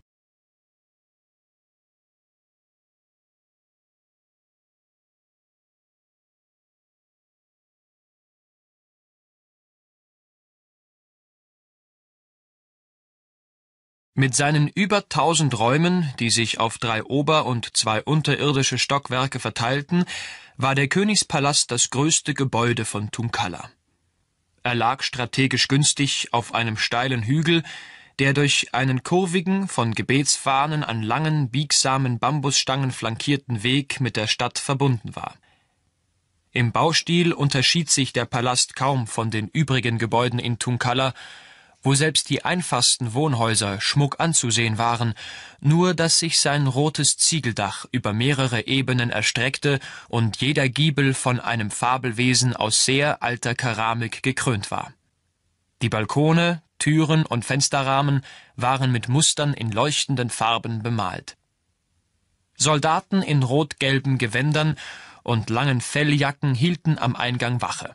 Sie trugen Helme mit Federbusch und waren mit Schwertern und Pfeil und Bogen bewaffnet. Wanji erklärte, die Wachen dienten bloß der Verschönerung. Das richtige Militär benutze moderne Waffen. Er erzählte ihnen, dass der Bogen die traditionelle Waffe im verbotenen Reich und Bogenschießen ein echter Volkssport sei. An den jährlich stattfindenden Wettkämpfen nahmen alle, sogar der König teil. Zwei prächtig gekleidete Hofbeamte empfingen die Besucher und geleiteten sie durch mehrere Säle, die nur mit einigen niedrigen Tischen, großen bunt bemalten Holztruhen und Stapeln runder Sitzkissen eingerichtet waren. Hier und da sahen sie religiöse Statuen, vor denen Kerzen brannten und Opferschalen voller Reis und Blütenblätter standen. Einige Wände waren bemalt, aber mancherorts war die Farbe mit den Jahren verblasst, so dass man kaum noch etwas von den Bildern erkennen konnte. Hier und da waren Mönche mit Pinseln, Farbtöpfchen und hauchdünnen Streifen Blattgold damit beschäftigt, die Malereien geduldig auszubessern. An vielen Wänden hingen auch prächtige Teppiche aus Seide und Satin. Auf die Säle folgten lange Flure mit Türen zu beiden Seiten, hinter denen Dutzende von Staatsdienern und Mönchen mit Schreiben beschäftigt waren. Computer hatte man hier noch nicht eingeführt. Alle Informationen für die öffentliche Verwaltung wurden von Hand in Hefte notiert. Einer der Räume diente als Orakelzimmer. Wenn sie nicht mehr weiter wussten, suchten die Bewohner des verbotenen Reichs hier bei bestimmten Lamas und Nonnen Rat, die über die Fähigkeit zum Weissagen verfügten. Die Buddhisten im Reich des goldenen Drachen glaubten daran, dass jeder Mensch seinen eigenen Weg zur Erlösung finden muss, allen Wegen gemeinsam jedoch das Mitleid mit allem Lebendigen ist. Dieser Glaube wollte aber auch gelebt sein, und manchmal brauchte man dafür jemanden, der einem auf die Sprünge half, einen leitete oder einem die Zukunft vorhersagte, damit man dem eigenen Weg eine neue Wendung geben oder zügiger voranschreiten konnte. Die Besucher waren in einem weiten Saal mit schmucklosen Wänden angekommen, in dessen Mitte eine vergoldete Buddha-Statue aus Holz aufragte, die so groß war, dass der Kopf die Decke berührte. Sie hörten Musik und dachten erst, jemand spiele auf einer Mandoline, bis sie sahen, dass am Fuß der Statue eine Gruppe singender Mönche saß. Der Singsang wurde immer lauter und kraftvoller. Dann fiel die Melodie unvermittelt ab und der Rhythmus änderte sich. Vor der gewaltigen Statue lag ein Gebetsteppich. Kerzen brannten und sie sahen Schalen mit glimmendem Weihrauch und Körbe mit Opfergaben. Die Besucher folgten dem Vorbild der Hofbeamten, gingen vor der Buddha-Statue auf die Knie und berührten dreimal mit der Stirn den Boden. Der König empfing sie im nächsten Saal, einem schlichten, rechteckigen Raum, an dessen Wänden Teppiche mit Szenen aus dem Leben Buddhas und Masken für Feste hingen. Man hatte den ausländischen Besuchern, die es nicht gewohnt waren, auf dem Boden zu sitzen, etwas Gutes tun wollen und fünf Stühle aufgestellt. Nadja und Alex staunten über den Drachen auf dem Wandteppich hinter dem König, denn er sah haargenau so aus wie die zierlichen geflügelten Drachen, die sie auf ihrer Reise in die Stadt der wilden Götter gesehen hatten. Damals hatten sie gedacht, diese Tiere seien die letzten einer Art, die vor vielen tausend Jahren im Amazonasgebiet heimisch gewesen war, doch dieser Teppich bewies, dass es solche Drachen auch einmal in Asien gegeben haben musste. Der König trug das gleiche Mönchsgewand wie am Vortag, zusätzlich aber eine sonderbare Kopfbedeckung, eine Art Helm aus Stoff. Vor seiner Brust hing das Medaillon, das seine Königswürde symbolisierte, eine sehr alte, mit Korallen besetzte Scheibe aus Gold. Er saß im Lotossitz auf einem etwa 50 Zentimeter hohen Podest. In Katzenmanier hingestreckt, hatte neben dem König ein prächtiger Leopard gelegen, der sich sofort mit gespitzten Ohren aufgesetzt hatte, als die Besucher näher traten und jetzt mit gefletschten Zähnen Alex anstarrte. Der König legte ihm die Hand auf den Rücken, was das Tier etwas zu beruhigen schien, aber der Blick seiner schmalen Pupillen ließ Alex keinen Moment los. Auf der linken Seite des Raumes saßen und standen etliche Würdenträger, pompös herausgeputzt in ihren edlen, gestreiften Gewändern, bestickten Westen und Hüten, die mit großen Goldblättern verziert waren, wobei allerdings die italienischen Schuhe und schwarzen Aktenkoffer nicht so recht ins Bild passen wollten. Ihnen gegenüber saßen eine Reihe Mönche in dunkelroten Umhängen. Gleich neben dem König standen drei junge Frauen und zwei junge Männer alle hochgewachsen und mit ernsten Gesichtern. Bestimmt fünf von seinen neun Kindern, dachten die Besucher. Genau wie Wanji ihnen aufgetragen hatte, setzten sie sich nicht auf die Stühle, denn sie durften nicht mit dem König auf einer Höhe Platz nehmen. Also knieten sie sich auf die kleinen Wollteppiche, die vor dem Podest lagen. Nachdem die Katas getauscht und einige festgelegte Begrüßungsformeln gesprochen waren, warteten die Besucher auf ein Zeichen des Königs, um sich auf den Teppichen hinzusetzen. Alex und die Fotografen im Schneidersitz, Nadja und Kate mit seitlich angewinkelten Beinen. Kate wand sich in ihrem Sarong und wäre beinahe über den Boden gekugelt. Der König und sein Hofstaat verkniffen sich mit Mühe das Lachen.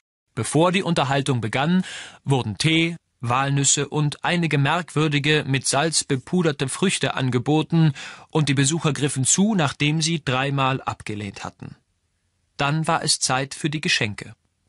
Kate gab Timothy Bruce und Joel Gonzales einen Wink, und die beiden robbten auf den Knien nach vorn, um dem König eine Kiste mit dem ersten Jahrgang des International Geographic zu überreichen, mit den zwölf Ausgaben aus dem Jahr 1888 und als Dreingabe eine Seite eines Originalmanuskripts von Charles Darwin, die der Herausgeber der Zeitschrift wie durch ein Wunder in einem Londoner Antiquariat aufgetrieben hatte. Der König bedankte sich und reichte ihnen ein in ein Tuch eingeschlagenes Buch.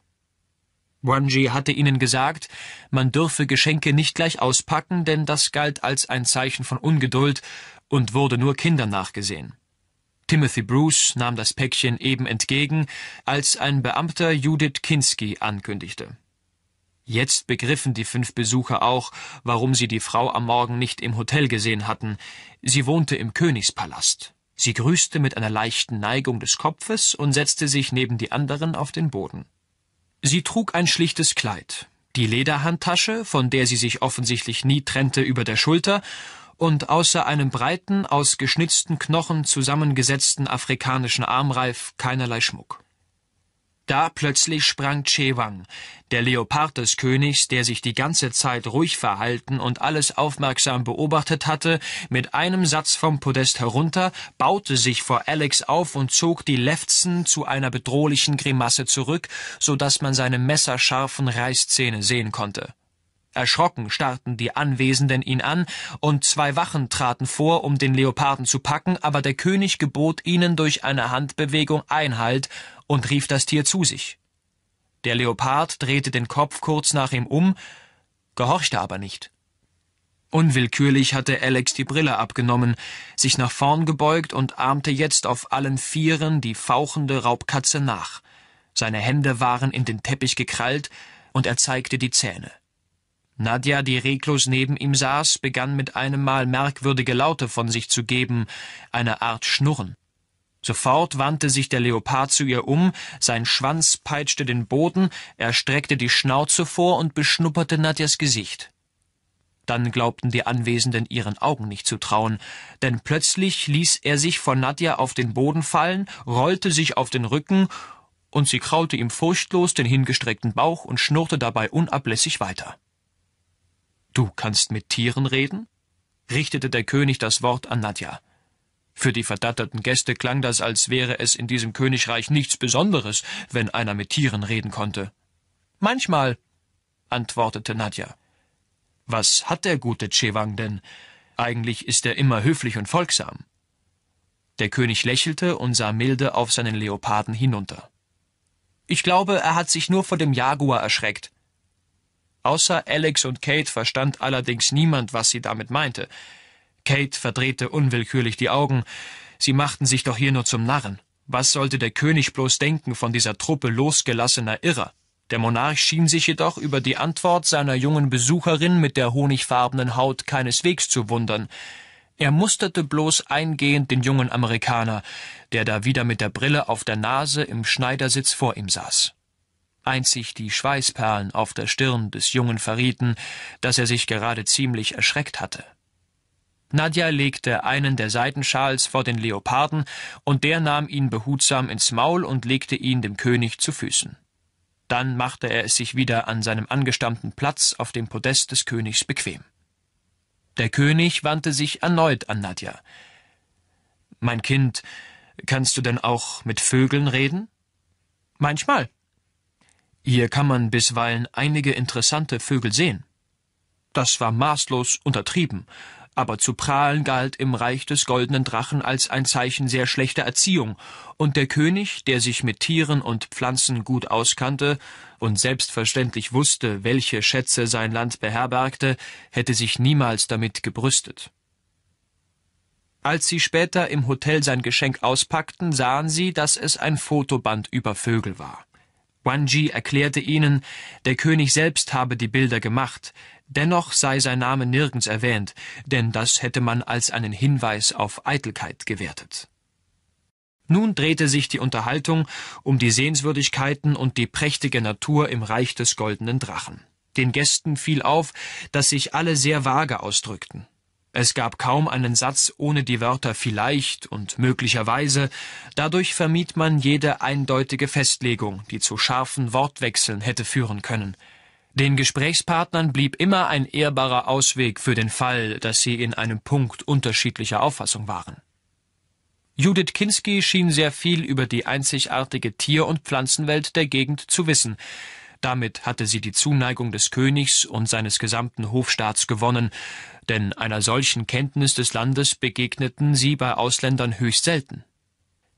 Es ist uns eine Ehre, in unserem Land eine Expedition des International Geographic empfangen zu dürfen, sagte der König, als das Gespräch dem Ende zuging.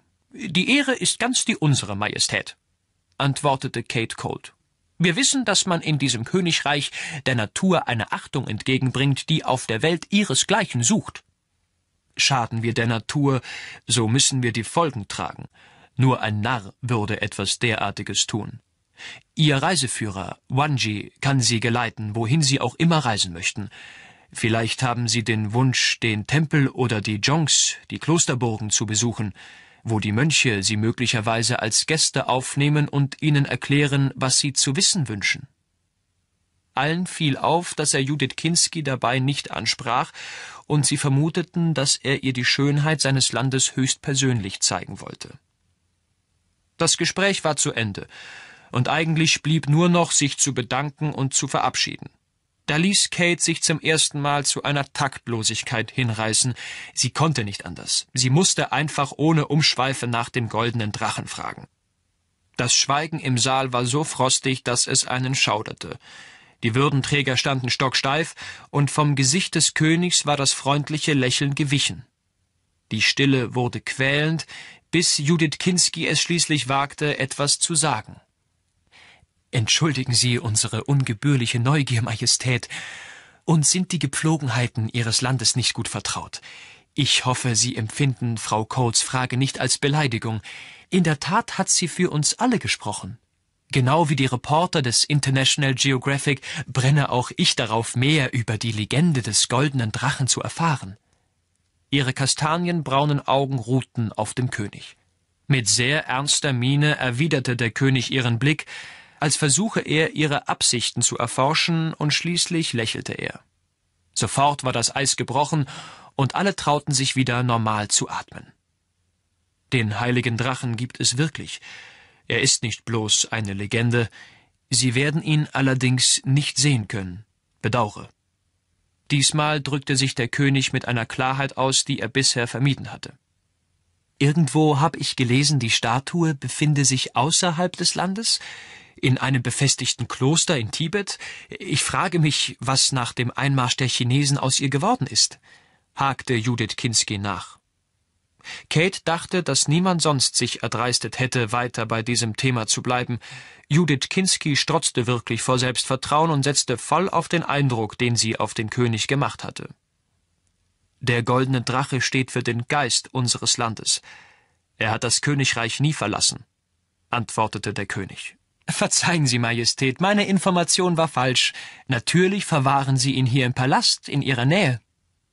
Vielleicht. Der König stand auf zum Zeichen, dass die Unterhaltung beendet war.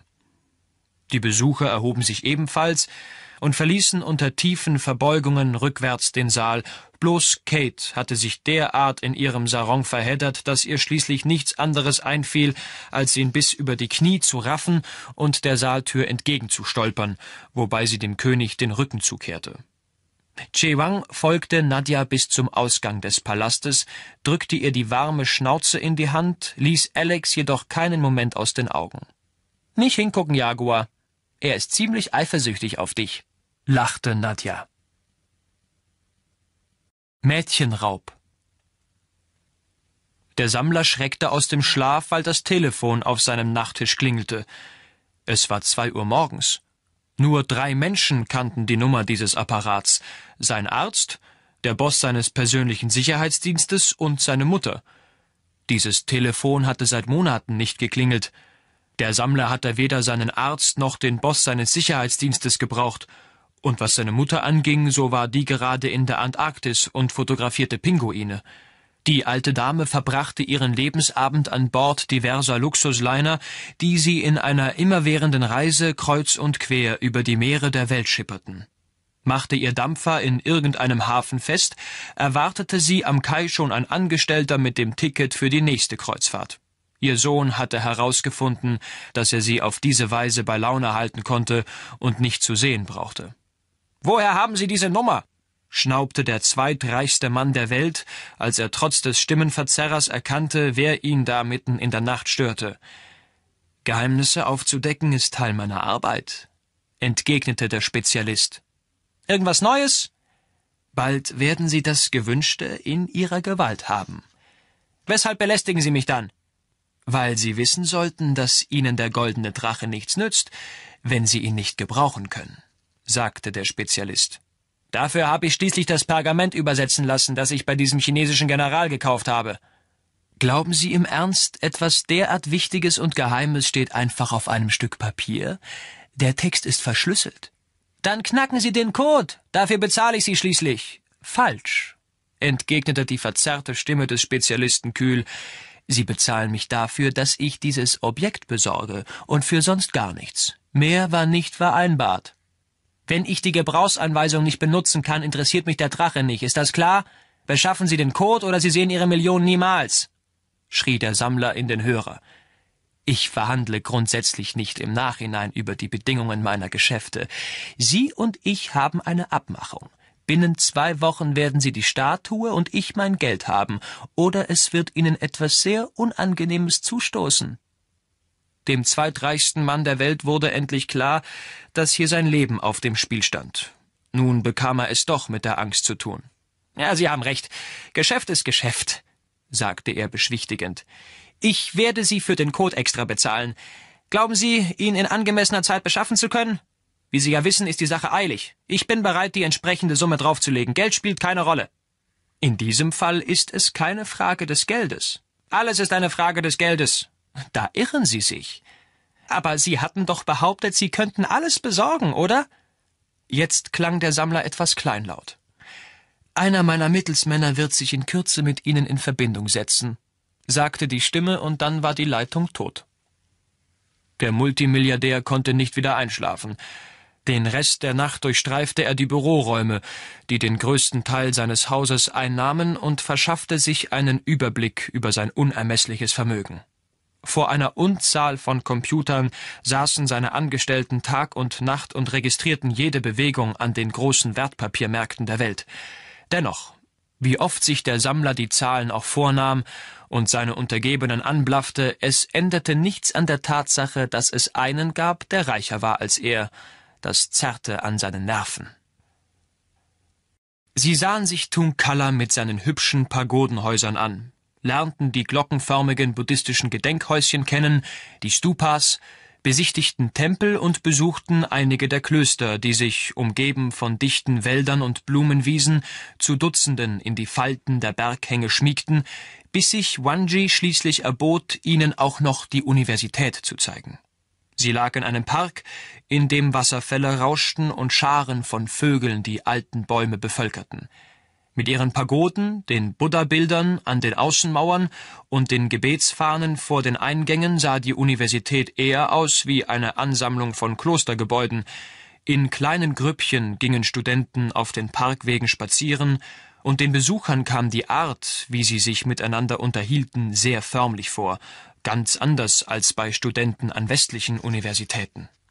Der Rektor empfing sie und bat Kate Colt, den Studenten etwas über die Zeitschrift International Geographic zu erzählen, die von vielen regelmäßig in der Bibliothek gelesen wurde. Wir haben nur sehr selten die Gelegenheit, solch illustre Gäste in unserer bescheidenen Universität zu begrüßen, sagte er mit einer tiefen Verbeugung. Also fanden sich Kate, die Fotografen, Alex und Nadja kurze Zeit später in einem Hörsaal wieder, in dem sich die 190 Studenten der Universität mit ihren Professoren versammelt hatten. Fast alle konnten wenigstens ein paar Brocken Englisch, denn die Sprachkurse waren ein Renner unter den Studierenden, aber Wanji musste dennoch hin und wieder übersetzen. Die erste halbe Stunde war eine zähe Lehreinheit in gutem Betragen. Starr vor Ehrfurcht stellten die Studenten ziemlich naive Fragen und verbeugten sich jedes Mal tief, ehe sie das Wort an die ausländischen Gäste richteten. Irgendwann hob Alex entnervt die Hand. Dürfen wir auch Fragen stellen? Wir sind sehr weit gereist, um etwas über dieses Land zu lernen. Für einen Moment wurde es mucksmäuschenstill, und die Studenten tauschten verunsicherte Blicke. Offensichtlich hatte noch nie jemand auf dem Podium einen solchen Vorschlag gemacht. Die Professoren tuschelten etwas ratlos miteinander, aber schließlich gab der Rektor sein Einverständnis. In den nächsten anderthalb Stunden erfuhren die Besucher so manch Wissenswertes über das verbotene Reich, und die Studenten setzten sich endlich über die formalen Benimmregeln hinweg und trauten sich, nach dem zu fragen, was sie an Amerika wirklich interessierte, nach dem Kino, der Musik, den Klamotten, den Autos und nach tausenderlei anderen Dingen. Gegen Ende der Veranstaltung kramte Timothy Bruce eine Kassette mit Hits der Charts aus der Tasche, die Kate in ihrem Aufnahmegerät abspielte.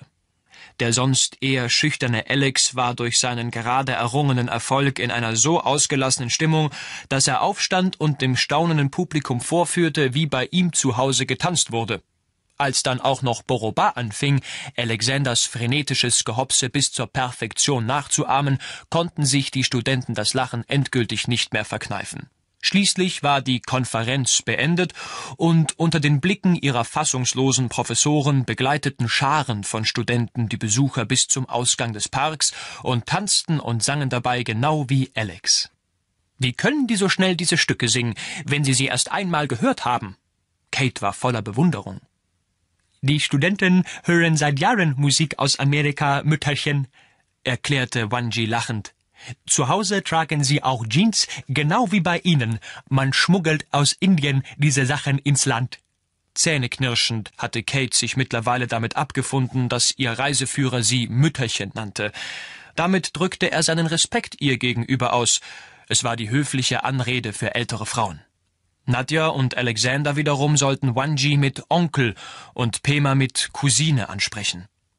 Vielleicht möchten die verehrten Gäste, so sie nicht zu erschöpft sind, ein typisches Abendessen in Tunkala erleben? sagte Wanji und schlug etwas verlegen die Augen nieder. Eigentlich waren die verehrten Gäste fix und fertig, aber eine solche Gelegenheit durften sie sich nicht entgehen lassen. So beendeten sie diesen langen Tag im Haus ihres Reiseführers, das wie die meisten Gebäude von Tunkalla zweistöckig war und mit seinen weiß getünchten Ziegelmauern und den reich mit Blumen und bunten Vögeln bemalten Holzbalken wie eine Miniaturausgabe des Königspalastes aussah. Es war unmöglich herauszufinden, wer eigentlich zur engeren Familie von Wanji gehörte, denn ständig kamen Leute herein, die samt und sonders als Onkel, Tante, Bruder, Schwester, Cousine oder Cousin vorgestellt wurden. Nachnamen gab es keine. Neugeborenen wurden von den Eltern zwei oder drei Namen gegeben, damit man sie von den anderen unterscheiden konnte, aber jeder durfte sich in seinem Leben so oft umbenennen, wie er wollte. Nur die Mitglieder der Königsfamilie besaßen auch einen gemeinsamen Namen. Pema, ihre Mutter und etliche Tanten und Cousinen trugen das Essen auf. Alle hatten auf dem Boden um einen niedrigen, runden Tisch herum Platz genommen, auf dem nun ein wahrer Berg aus rotem Reis, Getreide und verschiedenen in Gewürzen und scharfem Chili eingelegten Gemüsesorten aufgeschichtet wurde. Dann kamen die Leckereien, die extra zu Ehren der ausländischen Gäste zubereitet worden waren. Jackleber, Schafslunge, Schweinefüße, Ziegenaugen und Blutwürste, die mit solchen Unmengen von rotem Pulver gewürzt waren, dass den Gästen schon vom Geruch die Tränen in die Augen schossen und Kate einen Hustenanfall bekam. Es wurde mit der Hand gegessen, indem man erst kleine Kügelchen formte und die Höflichkeit gebot, sie zunächst den Gästen anzubieten. Es fehlte nicht viel, und Alex und Nadja hätten beim ersten Bissen laut aufgeschrien. Wie konnte etwas nur derart scharf sein? Es brannte, als hätten sie sich glühende Kohlen in den Mund geschoben.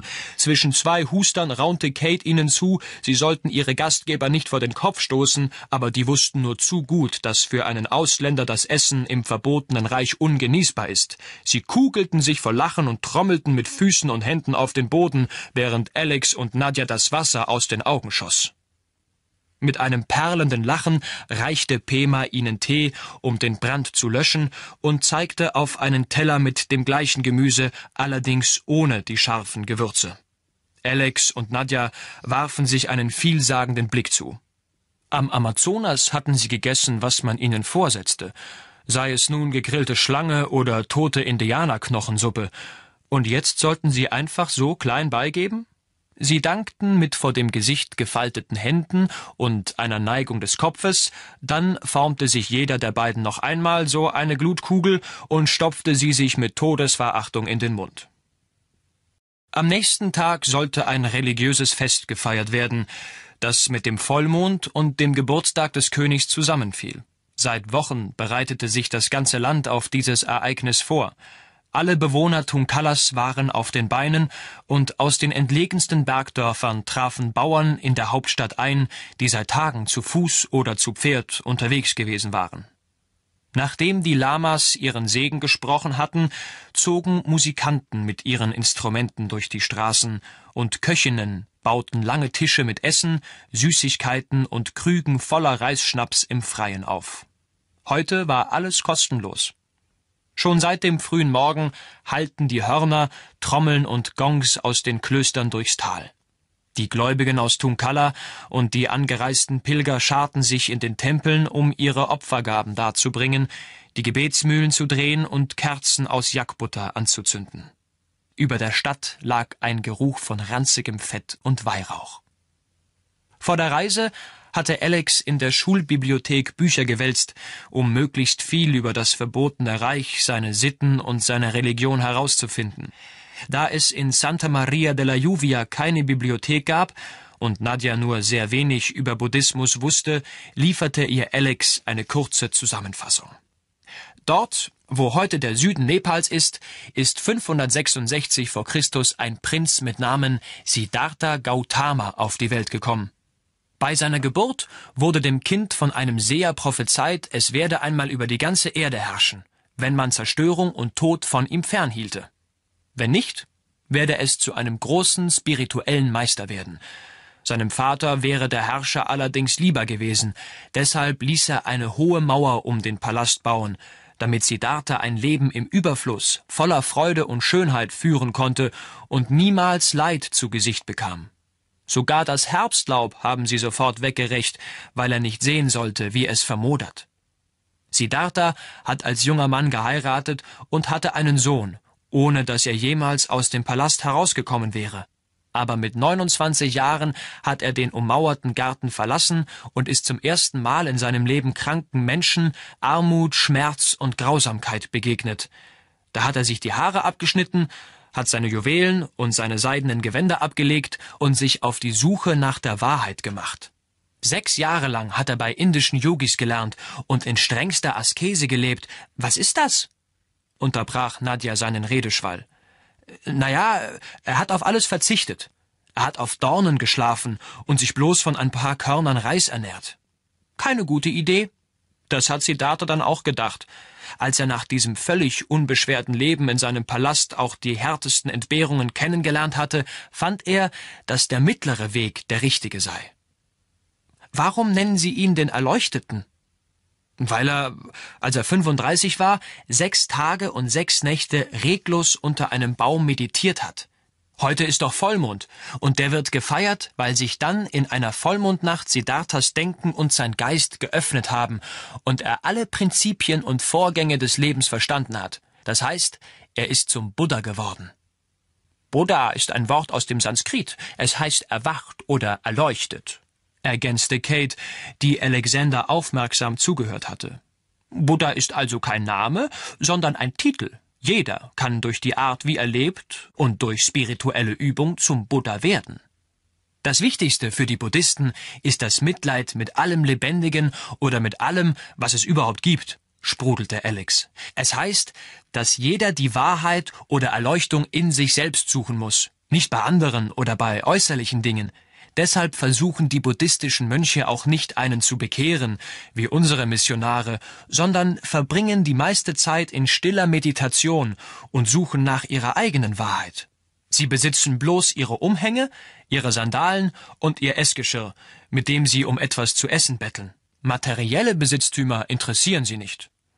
Nadja, die ja selbst bloß eine kleine Tasche mit den nötigsten Kleidungsstücken und drei Papageienfedern besaß, hatte an diesem Teil des Buddhismus nicht das geringste auszusetzen. Am Vormittag wurden Wettkämpfe im Zielschießen veranstaltet und die Leute strömten in Massen zum Turnierplatz von Tunkala. Herausgeputzt in ihren Festtagsgewändern, behängt mit Blumengirlanden, die ihnen die Mädchen um den Hals gelegt hatten, traten die besten Bogenschützen des Landes gegeneinander an. Die Bogen waren fast zwei Meter lang und sehr schwer. Alex bekam einen in die Hand gedrückt, aber er konnte ihn kaum halten und hatte keine Ahnung, wie er damit ein Ziel treffen sollte. Mit aller Kraft spannte er die Sehne, aber dann entglitt ihm der Pfeil und schnellte auf einen elegant gewandeten Würdenträger zu, der etliche Meter neben der Zielscheibe stand. Mit schreckgeweiteten Augen sah Alex, wie der Mann nach hinten überkippte, dachte schon, er habe ihn umgebracht, aber da war sein Opfer schon wieder lachend auf die Füße gekommen. Der Pfeil hatte in einem glatten Durchschuss seinen Hut durchbohrt. Keiner nahm es krumm. Die Ungeschicklichkeit des Ausländers erregte allgemeine Heiterkeit, und der Würdenträger stolzierte den ganzen Tag mit dem Pfeil im Hut durch die Menge, als wäre er eine ganz besondere Trophäe.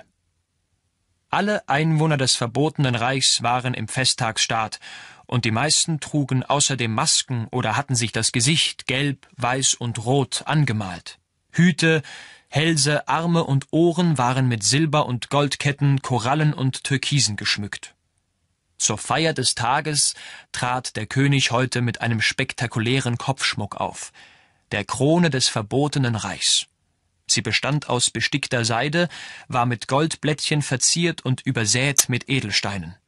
In der Mitte der Stirn strahlte ein großer Rubin. Um den Hals trug der Herrscher das Medaillon der Könige. Ganz Ruhe und Zuversicht bewegte er sich ohne Leibwache zwischen seinen Untertanen, die ihm zujubelten und ihn ehrfürchtig grüßten. Sein Gefolge bestand bloß aus Chewang, dem Leoparden, der sich dicht an seiner Seite hielt, und aus seinem Ehrengast Judith Kinski, die heute in der traditionellen Landestracht gekleidet war, aber auch diesmal nicht auf ihre Handtasche verzichtet hatte. Am Nachmittag traten maskierte Schauspieler, Akrobaten, Gaukler und Jongleure auf. Eine Gruppe junger Mädchen zeigte traditionelle Volkstänze und die besten Athleten des Landes maßen sich in einem Schaukampf mit Schwertern und führten eine Kampfkunst vor, die den ausländischen Besuchern vollkommen neu war. Sie schlugen Saltos in der Luft und fegten über die Köpfe ihrer Gegner hinweg, als hätten sie Flügel. Sieger blieb ein gut aussehender junger Mann, der sich so behende und wild bewegte wie ein Panther. Von Wanji erfuhren die Gäste, dass er einer der Söhne des Königs war, jedoch nicht derjenige, der dazu ausersehen war, eines Tages den Thron zu erben. Dieser hier war eher zum Krieger gemacht, wollte immer gewinnen, ließ sich gern feiern, war ungeduldig und eigenwillig. Ganz gewiss hatte er nicht das Zeug zu einem weisen Herrscher, bemerkte Wanji. Als die Sonne unterging, stimmte der Chor der Grillen in den Lärm des Festes ein. Unzählige Fackeln und bunte Lampions wurden entzündet. Die Stimmung war ausgelassen. In der Menschenmenge tanzten die kunstvoll mit Gold und anderen leuchtenden Farben bemalten Masken. Nadja wunderte sich, als sie unter einigen der Masken schwarze Bärte erkannte, denn im verbotenen Reich waren alle Männer fein säuberlich rasiert. Nie sah man einen mit Haaren im Gesicht, weil das als unreinlich galt. Eine Weile beobachtete sie die Menge, bis sie sich sicher war, dass die Bärtigen nicht wie alle anderen an dem Fest teilnahmen. Sie wollte eben Alex suchen, um ihm über ihre Entdeckung zu berichten, als der mit besorgter Miene auf sie zukam. Agila, sieh mal, der Kerl da drüben, stieß er hervor. Wo? Dort, hinter dem Jongleur mit den brennenden Fackeln. Der mit der tibetanischen Hirtenkappe. Was ist mit dem? Komm mit, vorsichtig. Wir gehen näher ran. Als sie nur noch wenige Schritte von ihm entfernt waren, konnten sie unter der Fellkrempe zwei helle und ausdruckslose Augen erkennen. Kein Zweifel, es war Tex Gürteltier. Wie ist der hierher gekommen? Er war nicht mit uns im Flugzeug, und der nächste Flug geht erst in fünf Tagen, sagte Alex, als sie wieder ein bisschen Abstand zwischen sich und den Amerikaner gebracht hatten. Ich glaube, er ist nicht allein, Jaguar. Sieh dich mal um. Diese Maskierten da, die haben Bärte. Die könnten von der Skorpionsekte sein. Ich beobachte sie schon eine ganze Weile. Sieht aus, als hätten sie was vor. Sobald sie was Verdächtiges machen, sagen wir Kate Bescheid. Vorerst behalten wir sie im Auge. Aus China war eine Familie von Feuerwerkskünstlern zum Fest angereist. Mit dem Sonnenuntergang war es schlagartig Nacht und bitterkalt geworden, aber das Fest ging unvermindert weiter. Dann erstrahlte der Himmel, und begleitet vom Jubel der staunenden Menge zauberten die Chinesen Wasserfälle aus Licht an den Himmel. In dem Gedränge war kaum ein Durchkommen. An die tropische Hitze von Santa Maria della Lluvia gewöhnt, schnatterte Nadja bald vor Kälte. Pema erbot sich, mit ihr zum Hotel zu gehen, damit sie etwas Warmes anziehen konnte, und die beiden nahmen Boroba mit, denn seit das Feuerwerk begonnen hatte, war der kleine Affe völlig verstört. Also übernahm es Alex jetzt allein, aus einiger Entfernung Tex Gürteltier zu beobachten. Nadja war froh, dass Kate ihr hochgebirgstaugliche Sachen gekauft hatte. Zusammen mit Boroba hätte sie ein Zähneklapperkonzert geben können. Unter Pemas belustigten Blicken packte sie den Affen in den Babyanorak, dann schlüpfte sie in eine lange Hose, zog dicke Socken an, die Bergschuhe darüber und schnappte sich ihre Daunenjacke. Pema reichte der leichte Sarong aus Seide. Los, komm, wir verpassen das Beste vom Fest, drängelte sie. Sie hasteten nach draußen. Der Mond und die bunten Lichtkaskaden erhellten die Nacht. Hast du Pema und Nadja gesehen, Kate? Nach Alexanders Schätzung waren die beiden schon seit über einer Stunde weg. Nein, sind mir nicht über den Weg gelaufen, sagte Kate.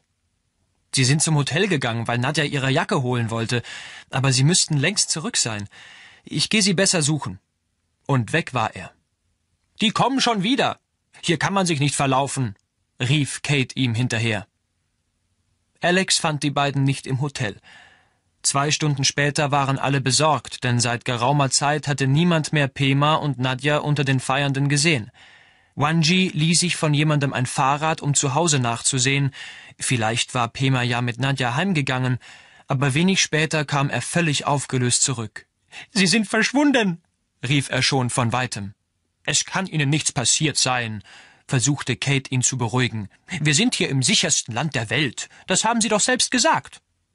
Mittlerweile waren kaum noch Leute in den Straßen, nur einige nimmermüde Studenten und ein paar Frauen, die die Abfälle zusammenkehrten und die Essensreste von den Tischen räumten. In der Luft hing ein Geruch von Blumen und Schießpulver. Sie könnten doch mit ein paar Studenten unterwegs sein, sagte Timothy Bruce. Wanji versicherte ihnen, das sei ausgeschlossen. Pema würde so etwas niemals tun. Kein Mädchen, das auf sich hielt, würde sich nachts allein ohne Erlaubnis der Eltern herumtreiben. Sie beschlossen, zur Polizeiwache zu gehen, wo zwei übermüdete Polizisten, die seit dem Morgengrauen im Dienst waren, ihnen sehr freundlich zuhörten und nicht bereit zu sein schienen, nach den beiden Vermissten zu suchen, die sicher bei Freunden oder Verwandten zu Hause waren. Kate baute sich vor ihnen auf, fuchtelte wild mit ihrem Pass und ihrem Presseausweis herum und beschwerte sich lautstark in ihrem übelsten Feldwebeltonfall, aber die beiden ließen sich nicht beeindrucken. Diese Leute sind auf ausdrückliche Einladung unseres geliebten Königs in unserem Land, sagte Wanji, woraufhin die Polizisten unverzüglich geschäftig wurden. Die Nacht verging mit der Suche nach Pema und Nadja. Als der Morgen graute, waren die gesamten Polizeikräfte, 19 Beamte, im Einsatz, denn es war das Verschwinden von vier weiteren Mädchen in Nadjas Alter aus Tunkalla gemeldet worden. Alex berichtete seiner Großmutter von dem Verdacht, dass sich blaue Krieger in der Menschenmenge auf dem Fest befunden hatten, und erzählte ihr, er habe Tex Gürteltier als tibetanischen Hirten verkleidet gesehen. Zwar habe er versucht, an ihm dran zu bleiben, aber der Amerikaner hatte wohl gemerkt, dass er erkannt worden war und war in der Menge untergetaucht. Kate sprach mit den Polizisten, die fürchteten, es könne eine Panik ausbrechen, und ihr rieten, die Information für sich zu behalten, solange es keine Beweise gab. In den ersten Morgenstunden sprach bereits die ganze Stadt davon, dass einige Mädchen entführt worden waren. Die Geschäfte blieben fast ausnahmslos geschlossen, und die Bewohner der friedlichen Hauptstadt strömten auf die Straße, um zu hören, ob man etwas Neues wusste. Suchtrupps aus Freiwilligen brachen auf und durchkämmten das Umland, aber das war eine entmutigende Aufgabe, denn wie sollte man in dem schroffen Gelände mit seinen subtropischen Wäldern jemanden finden? Schon bald wurde das, was zuerst nur ein Rumoren gewesen war, lauter, baute sich zu einer Flutwelle auf und riss in einem panischen Schrei die ganze Stadt mit. Die Skorpionsekte. Zwei Bauern, die nicht auf dem Fest gewesen waren, schworen, sie hätten Reiter gesehen, die im Galopp die Berge hinaufgeprescht waren. Die Hufeisen hätten auf dem Geröll Funken geschlagen, ihre schwarzen Umhänge hätten im Wind geflattert, und im gespenstischen Licht des Feuerwerks hätten sie ausgesehen wie böse Geister. Kurze Zeit später fand eine Familie auf dem Heimweg in ihr Dorf eine lederne Feldflasche voller Schnaps und übergab sie der Polizei. Ein Skorpion war darauf eingebrannt. Wanji war nicht mehr er selbst. Er kniete weinend am Boden, das Gesicht in die Hände vergraben, während seine Frau wie unter Schock neben ihm stand und mit tränenlosen Augen ins Leere starrte.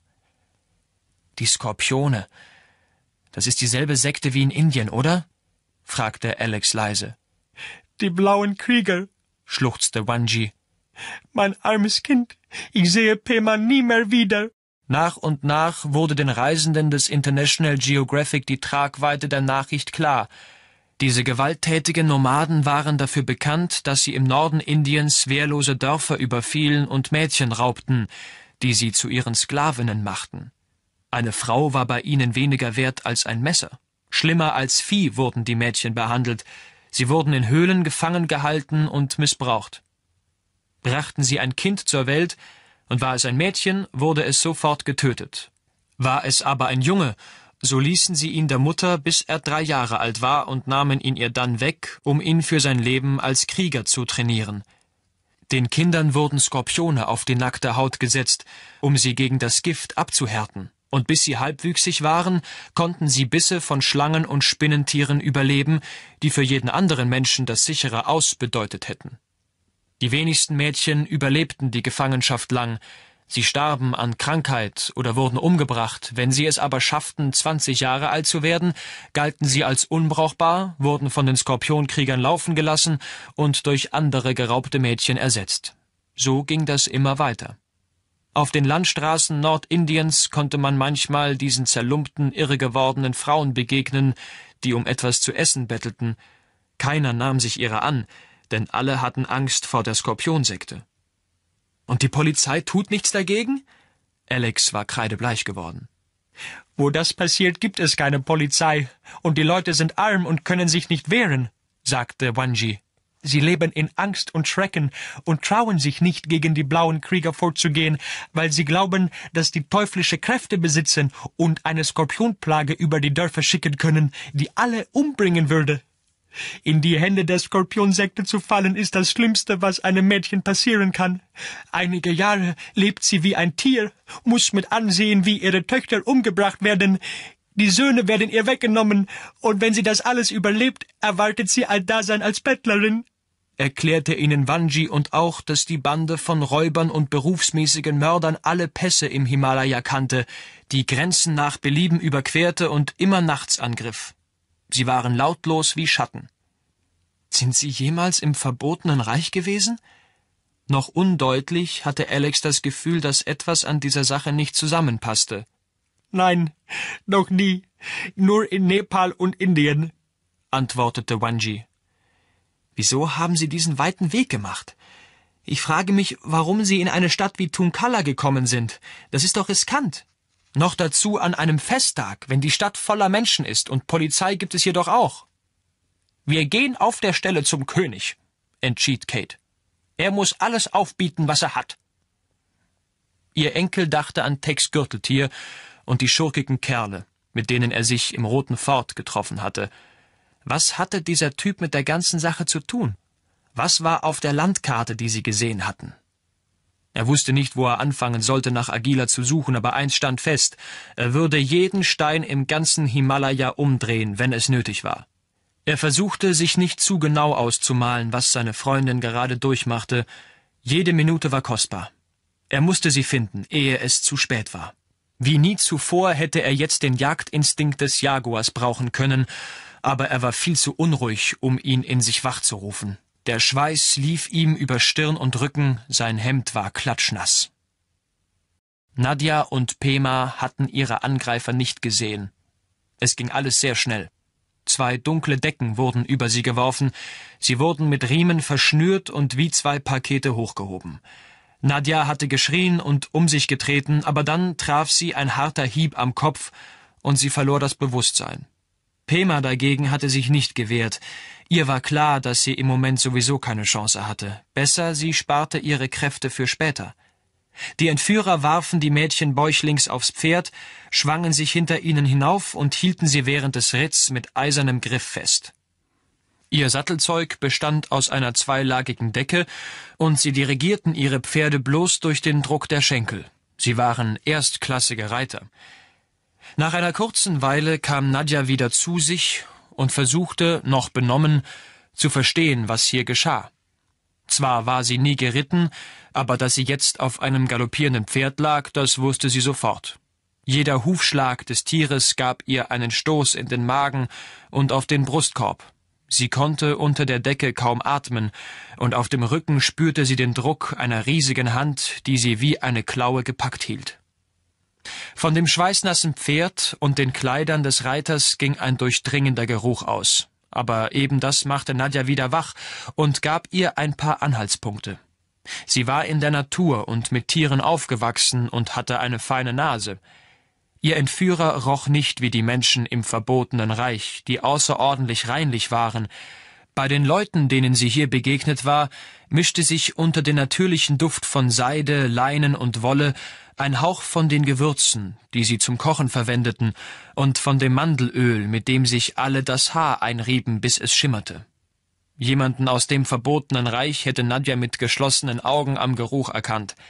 Der Mann, der sie festhielt, war schmutzig, als würde seine Kleidung nie gewaschen, und er verströmte einen bitteren Gestank nach Knoblauch, Kohlen, Schießpulver. Zweifellos war er nicht hier zu Hause.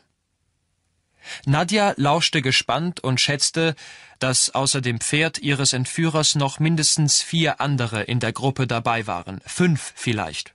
Sie ritten stetig bergan. Als das Pferd in den Schritt fiel, wurde ihr klar, dass sie den Pfad verlassen haben mussten und jetzt im offenen Gelände unterwegs waren.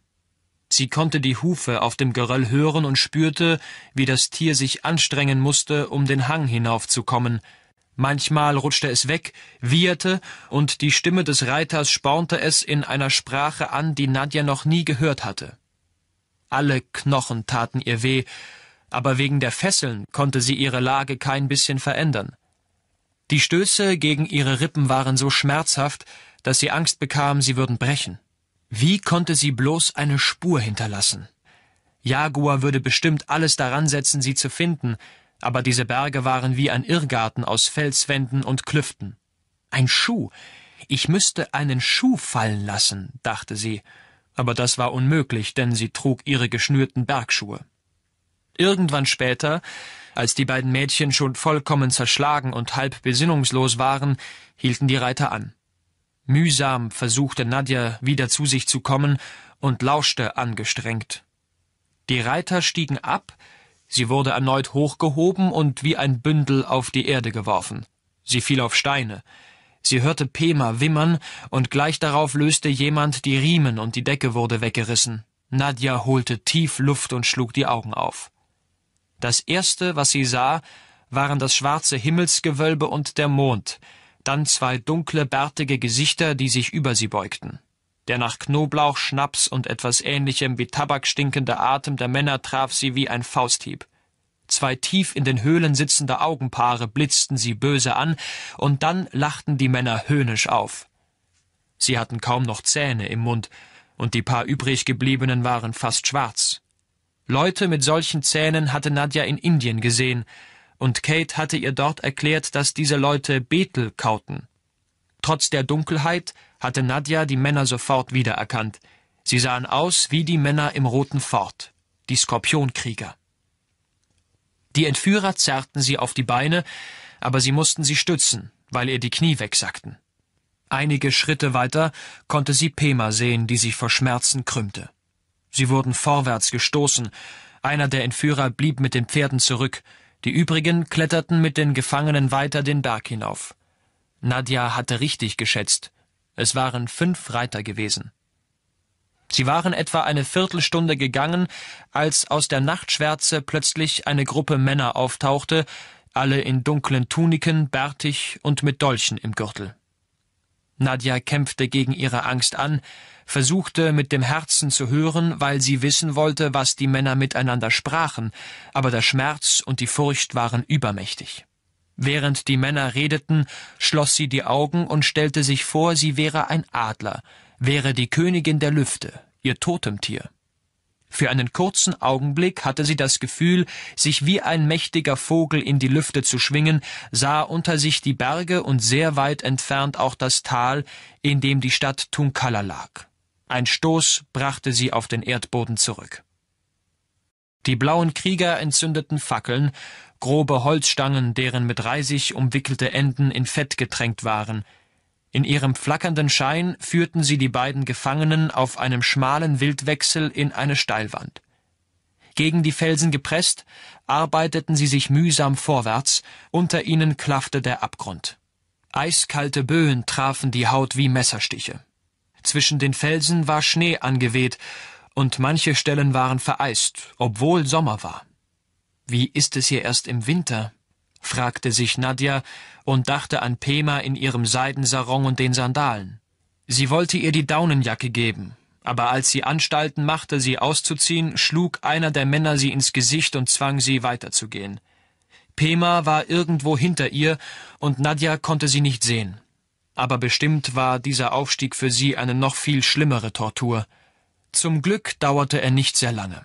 Sie erreichten ein paar dornige Sträucher, die von den Männern beiseite gebogen wurden.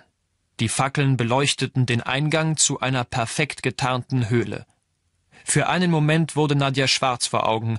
Wie sollte Jaguar sie hier jemals finden?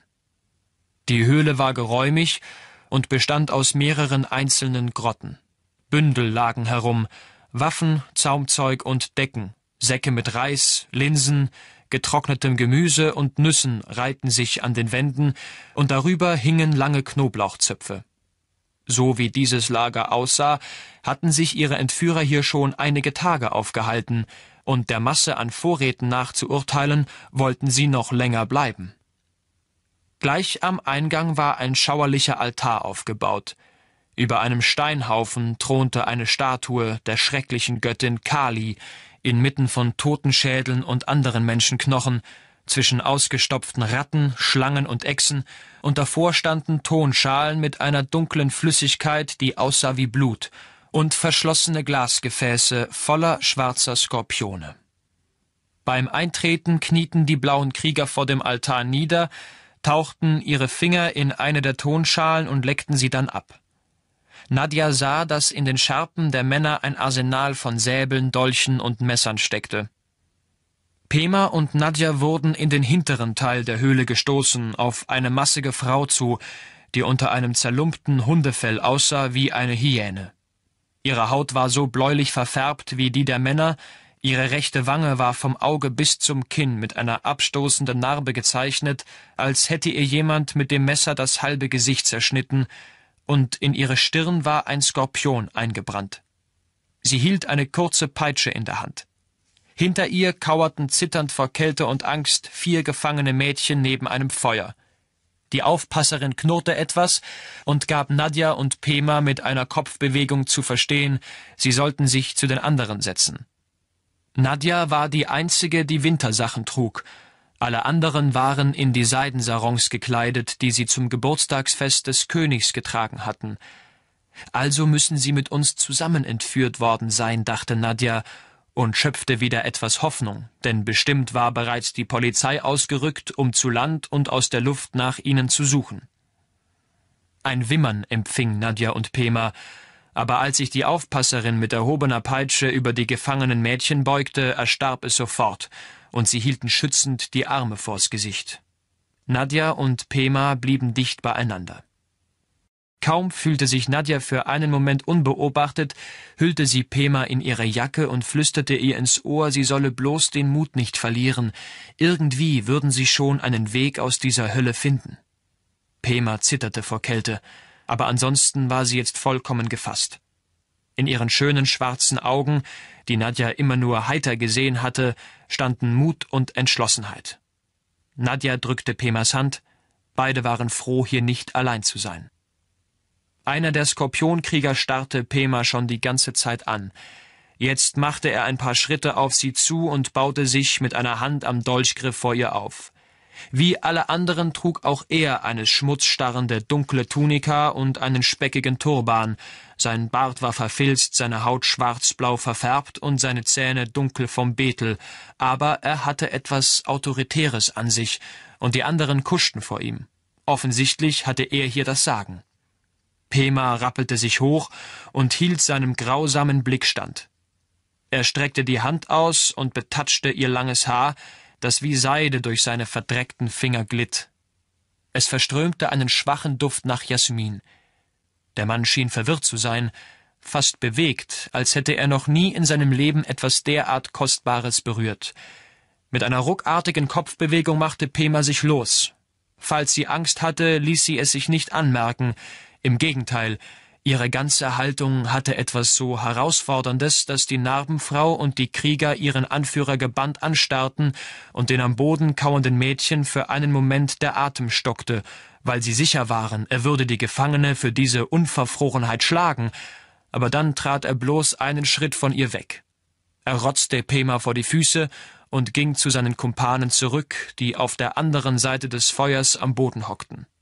Sie hatten eine Landkarte vor sich ausgebreitet, tranken aus ihren Feldflaschen, kauten die roten Betelnüsse, spuckten aus und besprachen irgendwas miteinander.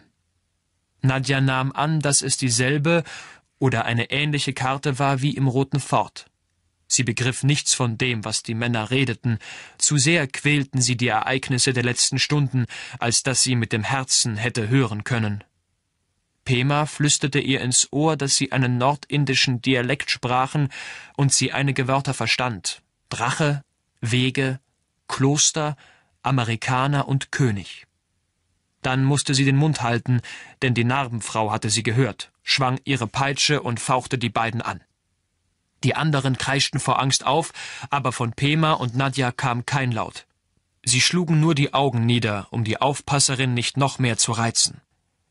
Als die sich dann etwas später am Feuer zu schaffen machte, flüsterte Pema Nadja ins Ohr, dass alle Frauen, die von den blauen Kriegern jemals freigelassen worden waren, das Brandzeichen des Skorpions auf der Stirn trugen und dass viele von ihnen nicht sprechen konnten, weil man ihnen die Zunge herausgeschnitten hatte. Vom Grauen gepackt, sagten Nadja und Pema nichts mehr, aber sie verständigten sich durch Blicke.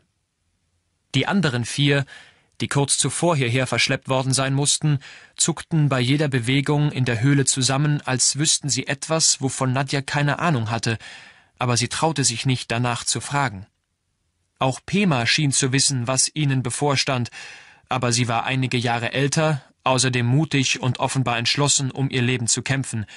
Etwas von dieser Stärke übertrug sich auch auf die anderen, die unwillkürlich etwas näher an Pema herangerückt waren, als könnte sie ihnen Schutz bieten. Nadja empfand große Bewunderung für ihre Freundin, und gleichzeitig fühlte sie sich elend, weil sie sich mit den anderen, die kein Wort Englisch sprachen, nicht verständigen konnte. Es war schlimm, dass sie so anders war als sie. Der Anführer gab einen Befehl, und die Narbenfrau vergaß ihre Gefangenen für einen Moment.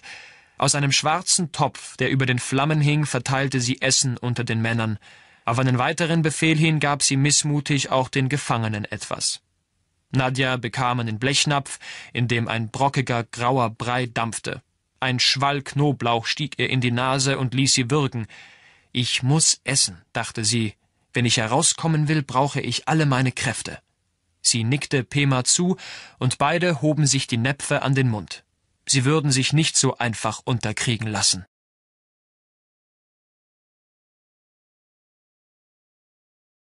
die ihnen zugewiesen wurde, hinknien sollten, bis sie aufgefordert wurden, sich zu setzen, und dass sie das Wort nicht an den König richten sollten, ehe der sie ansprach. Falls man ihnen etwas zu essen oder Tee anbot, sollten sie dreimal dankend ablehnen und dann langsam und schweigend essen, um ihre Achtung gegenüber den Speisen auszudrücken. Es galt als unhöflich, während des Essens zu sprechen. Boroba sollte vorsichtshalber bei Pema bleiben. Wanji wusste nicht, was das Protokoll in Bezug auf Affen vorsah. Kate Colt schaffte es, ihren Laptop an eine der Telefondosen des Hotels anzuschließen und konnte so Nachrichten an den International Geographic und an Professor Ludovic Leblanc schicken. Der Kerl war zwar nicht ganz richtig im Kopf, aber man musste zugeben, dass er auch eine unerschöpfliche Informationsquelle war. Kate fragte ihn nach der Ausbildung der Könige und nach den Geschichten über den goldenen Drachen. Es dauerte nicht lange, da bekam sie eine vermutlich erschöpfende Antwort in Form eines seitenlangen Aufsatzes und beschloss, die Lektüre auf später zu verschieben. Pema begleitete Kate und Nadja zu einem Laden, in dem Sarongs verkauft wurden, und jede der beiden kaufte sich drei, denn falls es regnete, mussten die Röcke Zeit zum Trocknen haben. Sie hatten einige Mühe damit, den Stoff richtig zu wickeln und ihn dann mit den Scherpen an Tex Gürteltier und die schurkigen Kerle, mit denen er sich im Roten Fort getroffen hatte. Was hatte dieser Typ mit der ganzen Sache zu tun? Was war auf der Landkarte, die sie gesehen hatten? Er wusste nicht, wo er anfangen sollte, nach Agila zu suchen, aber eins stand fest, er würde jeden Stein im ganzen Himalaya umdrehen, wenn es nötig war. Er versuchte, sich nicht zu genau auszumalen, was seine Freundin gerade durchmachte. Jede Minute war kostbar. Er musste sie finden, ehe es zu spät war. Wie nie zuvor hätte er jetzt den Jagdinstinkt des Jaguars brauchen können, aber er war viel zu unruhig, um ihn in sich wachzurufen. Der Schweiß lief ihm über Stirn und Rücken, sein Hemd war klatschnass. Nadja und Pema hatten ihre Angreifer nicht gesehen. Es ging alles sehr schnell. Zwei dunkle Decken wurden über sie geworfen, sie wurden mit Riemen verschnürt und wie zwei Pakete hochgehoben. Nadja hatte geschrien und um sich getreten, aber dann traf sie ein harter Hieb am Kopf und sie verlor das Bewusstsein. Pema dagegen hatte sich nicht gewehrt. Ihr war klar, dass sie im Moment sowieso keine Chance hatte. Besser, sie sparte ihre Kräfte für später. Die Entführer warfen die Mädchen bäuchlings aufs Pferd, schwangen sich hinter ihnen hinauf und hielten sie während des Ritts mit eisernem Griff fest. Ihr Sattelzeug bestand aus einer zweilagigen Decke, und sie dirigierten ihre Pferde bloß durch den Druck der Schenkel. Sie waren Städte. Das Flugzeug war nur winzig klein. Während sie also diese Angelegenheiten erledigte, erlaubte sie Nadja und Alexander, sich allein das rote Fort anzusehen, das nicht weit vom Hotel entfernt war. Ihr trennt euch auf gar keinen Fall, und dass ihr mir vor Sonnenuntergang wieder im Hotel seid, hatte Kate gesagt. Bis zu seiner Unabhängigkeit 1949 war Indien britische Kolonie gewesen und hatte mit seinen Reichtümern an Gewürzen, Stoffen und Tee als das kostbarste Juwel der britischen Krone gegolten. Damals war das Rote Fort von den englischen Truppen als Stützpunkt genutzt worden – Danach stand es leer. Für die Touristen war nur ein kleiner Teil dieser monumentalen Festungsanlage geöffnet. Kaum jemand wusste etwas von ihren Eingeweiden, einem wahren Labyrinth aus unterirdischen Gängen und verborgenen Kammern, das sich wie die Tentakel eines Tintenfischs unter der Stadt erstreckte. Nadja und Alex mischten sich unter eine Gruppe von Touristen, denen ein Fremdenführer auf Englisch erklärte, was es zu sehen gab. Bis ins Innere des Forts drang die schwüle Mittagshitze nicht vor. Hier war es kühl, und die Feuchtigkeit der Jahrhunderte hatte grüne Algenflecken an den Mauern sprießen lassen. In der Luft hing ein beißender Gestank, der Geruch von Tausenden und Abertausenden von Ratten, die in den Kellern lebten und, und setzte sich neben die anderen auf den Boden. Sie trug ein schlichtes Kleid, die Lederhandtasche, von der sie sich offensichtlich nie trennte, über der Schulter und außer einem breiten, aus geschnitzten Knochen zusammengesetzten afrikanischen Armreif keinerlei Schmuck. Da plötzlich sprang Chewang, der Leopard des Königs, der sich die ganze Zeit ruhig verhalten und alles aufmerksam beobachtet hatte, mit einem Satz vom Podest herunter, baute sich vor Alex auf und zog die Lefzen zu einer bedrohlichen Grimasse zurück, so dass man seine messerscharfen Reißzähne sehen konnte. Erschrocken starrten die Anwesenden ihn an, und zwei Wachen traten vor, um den Leoparden zu packen, aber der König gebot ihnen durch eine Handbewegung Einhalt und rief das Tier zu sich. Der Leopard drehte den Kopf kurz nach ihm um, gehorchte aber nicht. Unwillkürlich hatte Alex die Brille abgenommen, sich nach vorn gebeugt und ahmte jetzt auf allen Vieren die fauchende Raubkatze nach. Seine Hände waren in den Teppich gekrallt, und er zeigte die Zähne. Nadja, die reglos neben ihm saß, begann mit einem Mal merkwürdige Laute von sich zu geben, eine Art Schnurren.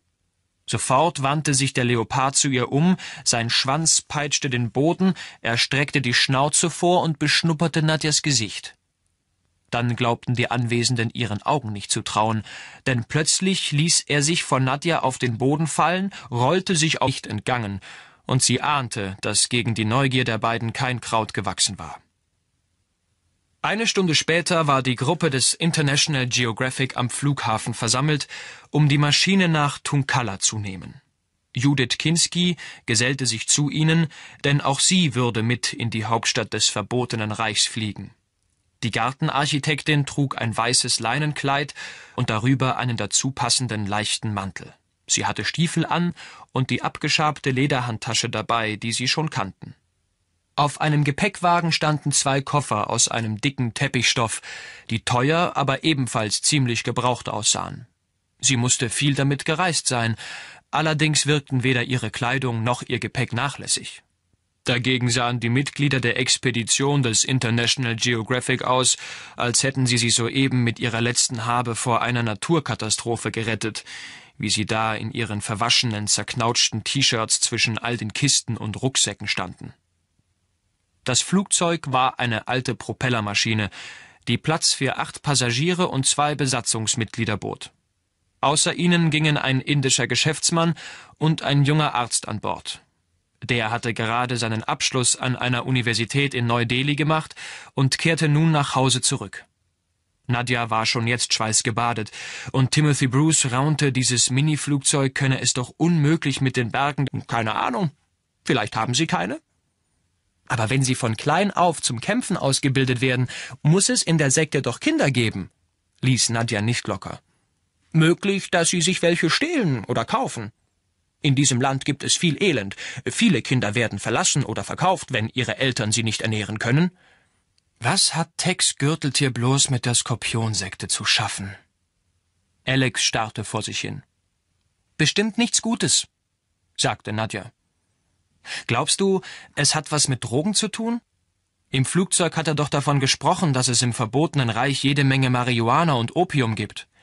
Der Kerl läuft uns hoffentlich nicht mehr über den Weg, aber falls doch, legt ihr euch nicht mit ihm an. Ist das klar? Kates Ton duldete keinen Widerspruch.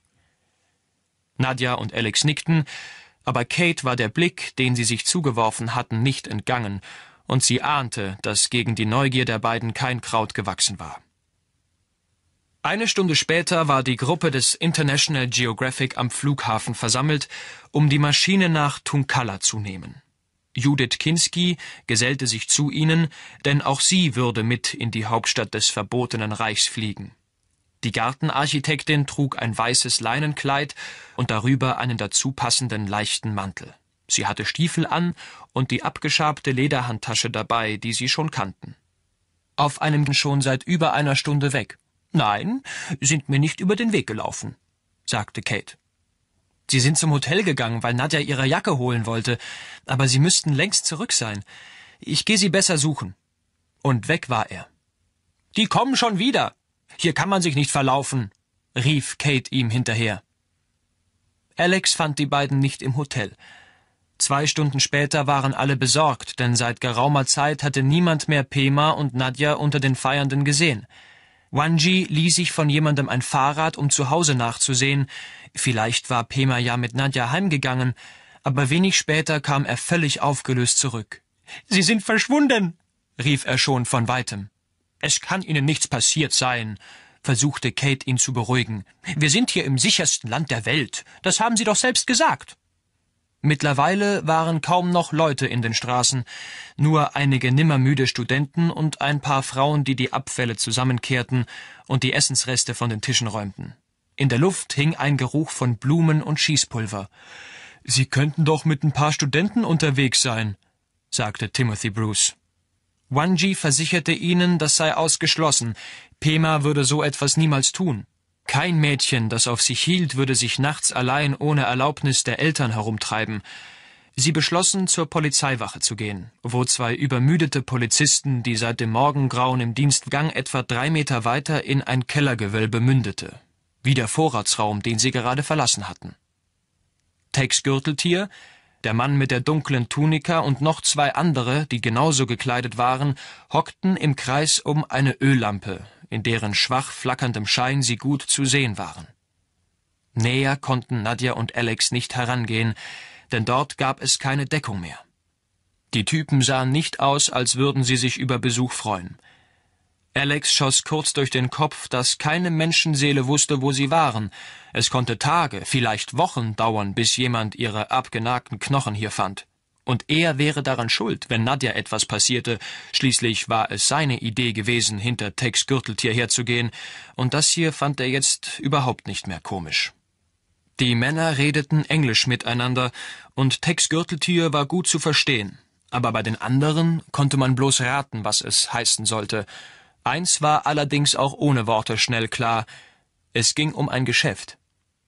Sie sahen, wie Tex Gürteltier dem einen, der offensichtlich der Anführer war, ein Bündel Geldscheine in die Hand drückte. Dann besprachen die vier lange so etwas wie einen Aktionsplan. Es war von Waffen die Rede, von Bergen und von einem Tempel oder Palast. Da waren sich Alex und Nadja nicht ganz sicher. Der Anführer faltete eine Landkarte auf, legte sie auf den Boden, Reise in die Stadt der wilden Götter gesehen hatten. Damals hatten sie gedacht, diese Tiere seien die letzten einer Art, die vor vielen tausend Jahren im Amazonasgebiet heimisch gewesen war. Doch dieser Teppich bewies, dass es solche Drachen auch einmal in Asien gegeben haben musste. Der König trug das gleiche Mönchsgewand wie am Vortag, zusätzlich aber eine sonderbare Kopfbedeckung, eine Art Helm aus Stoff. Vor seiner Brust hing das Medaillon, das seine Königswürde symbolisierte, eine sehr alte, mit Korallen besetzte Scheibe aus Gold. Er saß im Lotossitz auf einem etwa 50 Zentimeter hohen Podest. In Katzenmanier hingestreckt, hatte neben dem König ein prächtiger Leopard gelegen, der sich sofort mit gespitzten Ohren aufgesetzt hatte, als die Besucher näher traten und jetzt mit gefletschten Zähnen Alex anstarrte. Der König legte ihm die Hand auf den Rücken, was das Tier etwas zu beruhigen schien, aber der Blick seiner schmalen Pupillen ließ Alex keinen Moment los. Auf der linken Seite des Raumes saßen und standen etliche Würdenträger, pompös herausgeputzt in ihren edlen, gestreiften Gewändern, bestickten Westen und Hüten, die mit großen Goldblättern verziert waren, wobei allerdings die italienischen Schuhe und schwarzen Aktenkoffer nicht so recht ins Bild passen wollten. Ihnen gegenüber saßen eine Reihe Mönche in dunkelroten Umhängen. Lange sie auf eine Antwort würde warten müssen, hoffte jedoch, dass sie schnell käme, denn im verbotenen Reich würde sie vielleicht keinen Internetanschluss haben. Weil sie nun schon einmal dabei war, schrieb sie gleich noch eine Mail an ihren Freund Isaac Rosenblatt, um ihn nach diesem goldenen Drachen zu fragen, den es angeblich in dem Land gab, in das sie fuhren. Zu ihrer Überraschung meldete sich der Juwelier sofort. Mädchen, wie schön von dir zu hören. Natürlich weiß ich etwas über diese Statue. Jeder Juwelier, der etwas auf sich hält, kennt die Beschreibung. Es handelt sich nämlich um eines der ungewöhnlichsten Objekte der Welt und um eines der kostbarsten noch dazu. Allerdings hat außer den Königen nie irgendwer diesen berühmten Drachen gesehen, und Fotos gibt es auch keine, nur einige Zeichnungen. Er ist ungefähr zwei Fuß lang und es heißt, er sei aus purem Gold. Aber das ist noch nicht alles. Die Goldschmiedearbeit ist sehr alt und einzigartig schön. Außerdem ist er mit Edelsteinen besetzt, allein die beiden völlig gleichen, makellosen Sternrubine in seinen Augen sind ein Vermögen wert. Warum fragst du? Du willst ihn doch nicht etwa stehlen, wie diese drei Amazonas-Diamanten? Anstatt ihm noch einmal zu erzählen, dass Nadja die Steine gefunden hatte, versicherte Kate dem Juwelier, genau das habe sie vor. Ihr konnte es nur recht sein, wenn Isaac Rosenblatt ihr einen Coup dieser Größenordnung aus Tunkalla gemeldet worden. Alex berichtete seiner Großmutter von dem Verdacht, dass sich blaue Krieger in der Menschenmenge auf dem Fest befunden hatten, und erzählte ihr, er habe Tex Gürteltier als tibetanischen Hirten verkleidet gesehen. Zwar habe er versucht, an ihm dran zu bleiben, aber der Amerikaner hatte wohl gemerkt, dass er erkannt worden war und war in der Menge untergetaucht. Kate sprach mit den Polizisten, die fürchteten, es könne eine Panik ausbrechen, und ihr rieten, die Information für sich zu behalten, solange es keine Beweise gab. In den ersten Morgenstunden sprach bereits die ganze Stadt davon, dass einige Mädchen entführt worden waren. Die Geschäfte blieben fast ausnahmslos geschlossen, und die Bewohner der friedlichen Hauptstadt strömten auf die Straße, um zu hören, ob man etwas Neues wusste. Suchtrupps aus Freiwilligen brachen auf und durchkämmten das Umland, aber das war eine entmutigende Aufgabe, denn wie sollte man in dem schroffen Gelände mit seinen subtropischen Wäldern jemanden finden? Schon bald wurde das, was zuerst nur ein Rumoren gewesen war, lauter, baute sich zu einer Flutwelle auf und riss in einem panischen Schrei die ganze Stadt mit. Die Skorpionsekte. Zwei Bauern, die nicht auf dem Fest gewesen waren, schworen, sie hätten Reiter gesehen, die im Galopp die Berge hinaufgeprescht waren. Die Hufeisen hätten auf dem Geröll Funken geschlagen, ihre schwarzen Umhänge hätten im Wind geflattert und im Gespenst tiefen Verbeugungen rückwärts den Saal. Bloß Kate hatte sich derart in ihrem Sarong verheddert, dass ihr schließlich nichts anderes einfiel, als ihn bis über die Knie zu raffen und der Saaltür entgegenzustolpern, wobei sie dem König den Rücken zukehrte. Chewang folgte Nadja bis zum Ausgang des Palastes, drückte ihr die warme Schnauze in die Hand, ließ Alex jedoch keinen Moment aus den Augen. Nicht hingucken, Jaguar. Er ist ziemlich eifersüchtig auf dich, lachte Nadja. Mädchenraub Der Sammler schreckte aus dem Schlaf, weil das Telefon auf seinem Nachttisch klingelte. Es war zwei Uhr morgens. Nur drei Menschen kannten die Nummer dieses Apparats sein Arzt, der Boss seines persönlichen Sicherheitsdienstes und seine Mutter. Dieses Telefon hatte seit Monaten nicht geklingelt. Der Sammler hatte weder seinen Arzt noch den Boss seines Sicherheitsdienstes gebraucht, und was seine Mutter anging, so war die gerade in der Antarktis und fotografierte Pinguine. Die alte Dame verbrachte ihren Lebensabend an Bord diverser Luxusliner, die sie in einer immerwährenden Reise kreuz und quer über die Meere der Welt schipperten. Machte ihr Dampfer in irgendeinem Hafen fest, erwartete sie am Kai schon ein Angestellter mit dem Ticket für die nächste Kreuzfahrt. Ihr Sohn hatte herausgefunden, dass er sie auf diese Weise bei Laune halten konnte und nicht zu sehen brauchte. Woher seinen hübschen Pagodenhäusern an, lernten die glockenförmigen buddhistischen Gedenkhäuschen kennen, die Stupas, besichtigten Tempel und besuchten einige der Klöster, die sich, umgeben von dichten Wäldern und Blumenwiesen, zu Dutzenden in die Falten der Berghänge schmiegten, bis sich Wanji schließlich erbot, ihnen auch noch die Universität zu zeigen. Sie lag in einem Park, in dem Wasserfälle rauschten und Scharen von Vögeln die alten Bäume bevölkerten. Mit ihren Pagoden, den Buddha-Bildern an den Außenmauern und den Gebetsfahnen vor den Eingängen sah die Universität eher aus wie eine Ansammlung von Klostergebäuden. In kleinen Grüppchen gingen Studenten auf den Parkwegen spazieren, und den Besuchern kam die Art, wie sie sich miteinander unterhielten, sehr förmlich vor, ganz anders als bei Studenten an westlichen Universitäten. Der Rektor empfing sie und bat Kate Colt, den Studenten etwas über die Zeitschrift International Geographic zu erzählen, die von vielen regelmäßig in der Bibliothek gelesen wurde. Wir haben nur sehr selten die Gelegenheit, solch illustre Gäste in unserer bescheidenen Universität zu begrüßen, sagte er mit einer tiefen Verbeugung. Also fanden sich Kate, die Fotografen, Alex und Nadja kurze Zeit später in einem Hörsaal wieder, in dem sich die 190 Studenten der Universität mit ihren Professoren versammelt hatten. Fast alle konnten wenigstens ein paar Brocken Englisch, denn die Durst waren, dass den Gästen schon vom Geruch die Tränen in die Augen schossen und Kate einen Hustenanfall bekam. Es wurde mit der Hand gegessen, indem man erst kleine Kügelchen formte und die Höflichkeit gebot, sie zunächst den Gästen anzubieten. Es fehlte nicht viel, und Alex und Nadja hätten beim ersten Bissen laut aufgeschrien. Wie konnte etwas nur derart scharf sein? Es brannte, als hätten sie sich glühende Kohlen in den Mund geschoben.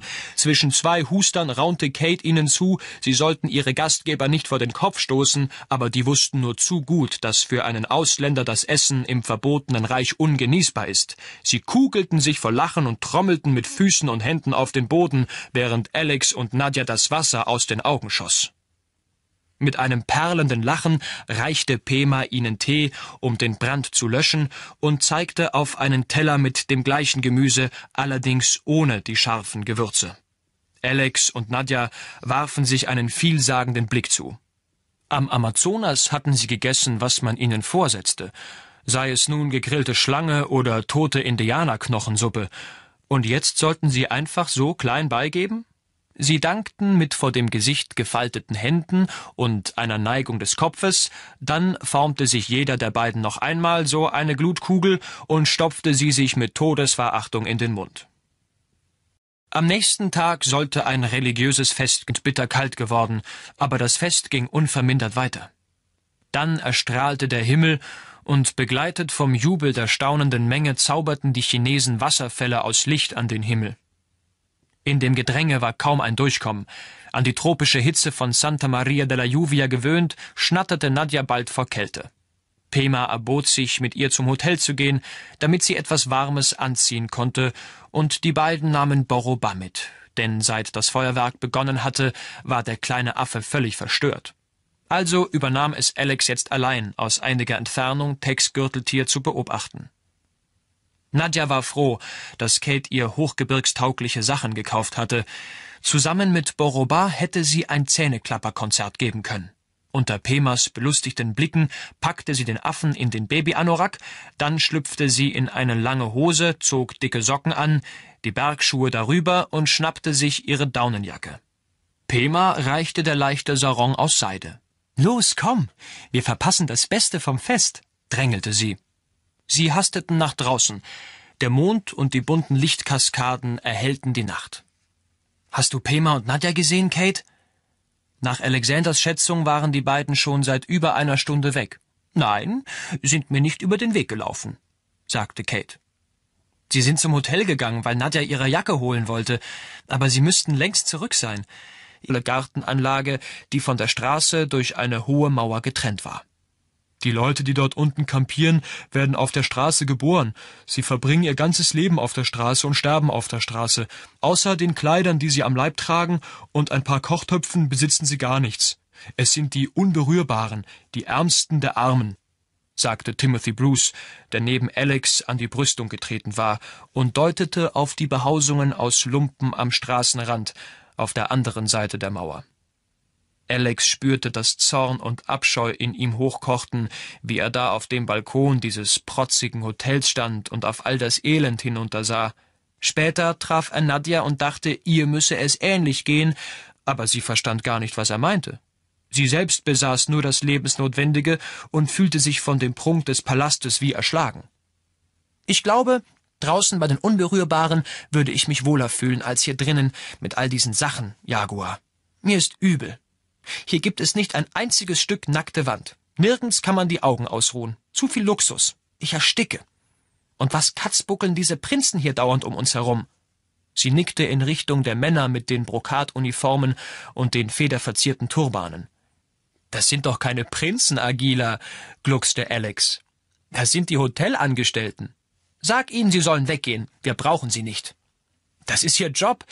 Wenn ich sie wegschicke, sind sie beleidigt, robbten auf den Knien nach vorn, um dem König eine Kiste mit dem ersten Jahrgang des International Geographic zu überreichen, mit den zwölf Ausgaben aus dem Jahr 1888 und als Dreingabe eine Seite eines Originalmanuskripts von Charles Darwin, die der Herausgeber der Zeitschrift wie durch ein Wunder in einem Londoner Antiquariat aufgetrieben hatte. Der König bedankte sich und reichte ihnen ein in ein Tuch eingeschlagenes Buch. Wanji hatte ihnen gesagt, man dürfe Geschenke nicht gleich auspacken, denn das galt als ein Zeichen von Ungeduld und wurde nur Kindern nachgesehen.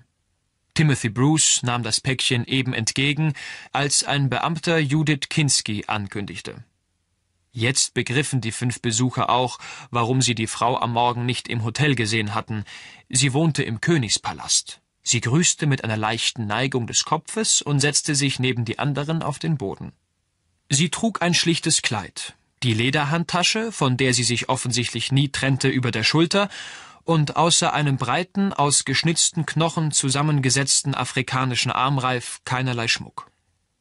Da plötzlich sprang Chewang, der Leopard des Königs, der sich die ganze Zeit ruhig verhalten und alles aufmerksam beobachtet hatte, mit einem Satz vom Podest herunter, baute sich vor Alex auf und zog die Lefzen zu einer bedrohlichen Grimasse zurück, so dass man seine Messerscharfdienstes und seine Mutter.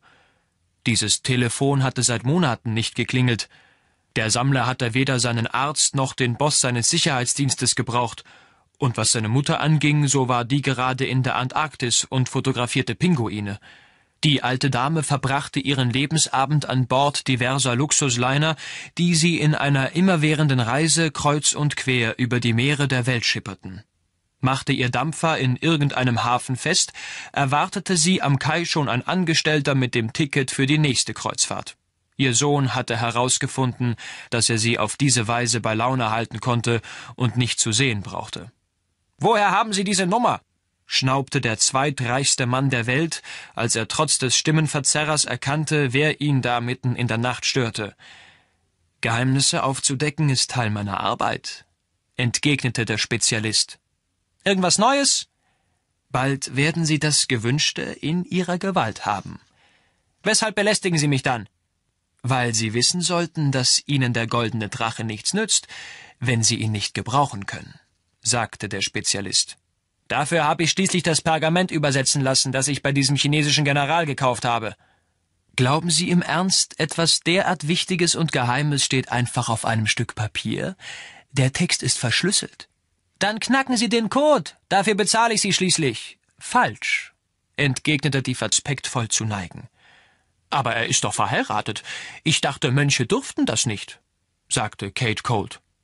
Viele Mönche leben tatsächlich im Zölibat, aber der König soll heiraten, damit der Krone Kinder geschenkt werden. Seine Majestät ist Witwer. Seine geliebte Gattin starb vor zehn Jahren. Wie viele Kinder hat er denn?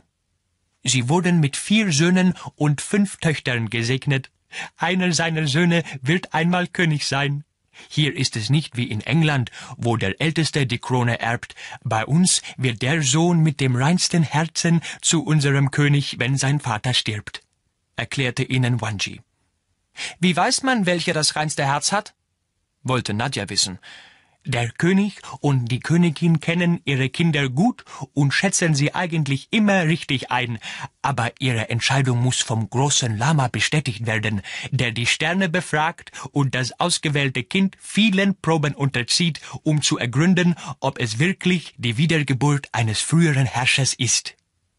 Wanji erzählte ihnen, dass die Proben niemals fehlgingen, so musste der Prinz sieben Gegenstände erkennen, die schon dem ersten Herrscher im Reich des goldenen Drachen vor 1800 Jahren gehört hatten. Die Gegenstände wurden mit anderen zusammen auf den Boden gelegt und das Kind wählte aus. Bestand es diese erste Probe, musste es ein Wildpferd reiten. Dadurch vermied man jede eindeutige Festlegung, die zu scharfen Wortwechseln hätte führen können. Den Gesprächspartnern blieb immer ein ehrbarer Ausweg für den Fall, dass sie in einem Punkt unterschiedlicher Auffassung waren. Judith Kinski schien sehr viel über die einzigartige Tier- und Pflanzenwelt der Gegend zu wissen. Damit hatte sie die Zuneigung des Königs und seines gesamten Hofstaats gewonnen, denn einer solchen Kenntnis des Landes begegneten sie bei Ausländern höchst selten. Es ist uns eine Ehre, in unserem Land eine Expedition des International Geographic empfangen zu dürfen, sagte der König, als das Gespräch dem Ende zuging. Die Ehre ist ganz die unsere, Majestät, antwortete Kate Colt. Wir wissen, dass man in diesem Königreich der Natur eine Achtung entgegenbringt, die auf der Welt ihresgleichen sucht. Schaden wir der Natur, so müssen wir die Folgen tragen. Nur ein Narr würde etwas derartiges tun. Ihr Reiseführer, Wanji, kann Sie geleiten, wohin Sie auch immer reisen möchten. Vielleicht haben Sie den Wunsch, den Tempel oder die Jongs, die Klosterburgen zu besuchen, wo die Mönche Sie möglicherweise als Gäste aufnehmen und Ihnen erklären, was Sie zu wissen wünschen. Allen fiel auf, dass er Judith Kinski dabei nicht ansprach, und sie vermuteten, dass er ihr die Schönheit seines Landes höchstpersönlich zeigen wollte. Das Gespräch war zu Ende. Jaguar würde bestimmt alles daran setzen, sie zu finden, aber diese Berge waren wie ein Irrgarten aus Felswänden und Klüften. Ein Schuh. Ich müsste einen Schuh fallen lassen, dachte sie, aber das war unmöglich, denn sie trug ihre geschnürten Bergschuhe. Irgendwann später, als die beiden Mädchen schon vollkommen zerschlagen und halb besinnungslos waren, hielten die Reiter an. Mühsam versuchte Nadja wieder zu sich zu kommen und lauschte angestrengt. Die Reiter stiegen ab, sie wurde erneut hochgehoben und wie ein Bündel auf die Erde geworfen. Sie fiel auf Steine. Sie hörte Pema wimmern, und gleich darauf löste jemand die Riemen und die Decke wurde weggerissen. Nadja holte tief Luft und schlug die Augen auf. Das erste, was sie sah, waren das schwarze Himmelsgewölbe und der Mond, dann zwei dunkle, bärtige Gesichter, die sich über sie beugten. Der nach Knoblauch, Schnaps und etwas ähnlichem wie Tabak stinkende Atem der Männer traf sie wie ein Fausthieb. Zwei tief in den Höhlen sitzende Augenpaare blitzten sie böse an, und dann lachten die Männer höhnisch auf. Sie hatten kaum noch Zähne im Mund, und die paar übrig gebliebenen waren fast schwarz. Leute mit solchen Zähnen hatte Nadja in Indien gesehen, und Kate hatte ihr dort erklärt, dass diese Leute Betel kauten. Trotz der Dunkelheit hatte Nadja die Männer sofort wiedererkannt. Sie sahen aus wie die Männer im roten und niemals persönlichen Zielen. Das Herz des Königs durfte keine Habgier kennen. Sie kamen an Bauernhäusern und vielen Tempeln vorbei, die man schon von weitem an den im Wind flatternden Gebetsfahnen erkennen konnte, die den langen Standarten am Flughafen ähnelten. Ihr Reiseführer grüßte alle Leute, denen sie unterwegs begegneten. Anscheinend kannte hier jeder jeden. Immer wieder überholten sie Gruppen von kleinen Buben, die in dunkelrote Mönchsumhänge gehüllt waren, und Wanji erklärte ihnen, dass man die meisten Kinder in Klöstern unterrichtete, in die sie aufgenommen wurden, wenn sie fünf oder sechs Jahre alt waren. Manche blieben ihr Leben lang im Kloster, weil sie dem Vorbild ihrer Meister, der Lamas, folgen wollten. Die Mädchen besuchten ihre eigenen Schulen, es gab eine Universität im Land, aber die meisten Studenten wurden in Indien und einige in England ausgebildet, wenn ihre Eltern es sich leisten konnten oder sie ein staatliches Stipendium bekamen. Auf den Dächern einiger kleiner Lebensmittelläden waren Fernsehantennen angebracht. Wanji erklärte, dass sich die Bewohner der umliegenden Häuser dort trafen, wenn etwas gesendet wurde. Allerdings gab es nicht rund um die Uhr Strom, weshalb die Sendezeiten von Tag zu Tag wechselten. Er erzählte ihnen auch, dass es fast überall im Land Telefon gab. Fand man keine Poststation, konnte man zum Telefonieren in die Orten. Aber jedes Mal hatte Nadja die richtige Eingebung und fand ihn wieder. Schon waren sie weit von den anderen Touristen entfernt, hörten und sahen niemanden mehr. Sie durchquerten Säle, stiegen schmale Treppen mit ausgetretenen, verwitterten Stufen hinunter und folgten langen Korridoren. Zu dem beißenden Gestank kam jetzt ein lauter werdendes Gezischel, wie ein aus dem Takt geratenes Grillenkonzert. Nicht noch tiefer, Agila, das sind die Ratten, die können gefährlich werden, flüsterte Alex. Wenn die da vorn hinuntergehen, warum dann wir nicht? Die beiden schlichen immer weiter durch die unterirdischen Gänge und redeten nicht mehr, denn jedes Geräusch hallte gespenstisch an den Wänden wieder. Alex fragte sich, wie sie je wieder nach oben finden sollten, aber er hielt den Mund, denn er wollte vor Nadja nicht als Angsthase dastehen. Auch, dass es hier unten vielleicht Schlangennester gab, sagte er nicht, schließlich hatte er Nadja mit den Kobras gesehen, also konnte er sich die Unkerei wohl sparen. Am Anfang war noch etwas Licht durch kleine Spalten in der Decke und in den Mauern gefallen, aber nun war es über weite Strecken ziemlich finster, und sie mussten sich an den Wänden entlang vorwärts tasten. Hier und da hingen Glühbirnen und warfen einen schwachen Schein auf die herumwuselnden Ratten. Die Elektrokabel hingen wenig vertraulich und als Dreingabe eine Seite eines Originalmanuskripts von Charles Darwin, die der Herausgeber der Zeitschrift wie durch ein Wunder in einem Londoner Antiquariat aufgetrieben hatte. Der König bedankte sich und reichte ihnen ein in ein Tuch eingeschlagenes Buch. Wanji hatte ihnen gesagt, man dürfe Geschenke nicht gleich auspacken, denn das galt als ein Zeichen von Ungeduld und wurde nur Kindern nachgesehen. Timothy Bruce nahm das Päckchen eben entgegen, als ein Beamter Judith Kinski ankündigte. Jetzt begriffen die fünf Besucher auch, warum sie die Frau am Morgen nicht im Hotel gesehen hatten. Sie wohnte im Königspalast. Sie grüßte mit einer leichten Neigung des Kopfes und setzte sich neben die anderen auf den Boden. Sie trug ein schlichtes Kleid, die Lederhandtasche, von der sie sich offensichtlich nie trennte, über der Schulter, und außer einem breiten, aus geschnitzten Knochen zusammengesetzten afrikanischen Armreif keinerlei Schmuck. Da plötzlich sprang Chewang, der Leopard des Königs, der sich die ganze Zeit ruhig verhalten und alles aufmerksam beobachtet hatte, mit einem Satz vom Podest herunter, baute sich vor Alex auf und zog die Lefzen zu einer bedrohlichen Grimasse zurück, so dass man seine messerscharfen Reißzähne sehen konnte. Erschrocken starrten die Anwesenden ihn an, und zwei Wachen traten vor, um den Leoparden zu packen, aber der König gebot ihnen durch eine Handbewegung Einhalt und der wohl einmal zur Lagerung von Munition oder Lebensmitteln gedient hatte. An drei Seiten gingen dunkle Gänge ab. Alex deutete wortlos mal auf den einen, mal auf den anderen. Nadja schüttelte den Kopf und wusste zum ersten Mal nicht weiter. Sie klaubte Boroba von ihrem Rücken, setzte ihn auf den Boden und gab ihm einen Klaps, damit er für sie entschied. Hastig rettete sich der Affe wieder auf ihre Schulter. Er war wasserscheu und Ratten konnte er auch nicht leiden. Nadja wisperte ihm ins Ohr, er solle vorgehen, aber er wollte sie nicht loslassen und deutete bloß mit zitternden Fingern auf die rechte Maueröffnung, die schmalste der drei. Nadja und Alex folgten Borobas Fingerzeig und zwängten sich in den Gang, in dem man fast gar nichts sehen konnte, denn hier hingen keine Glühbirnen mehr.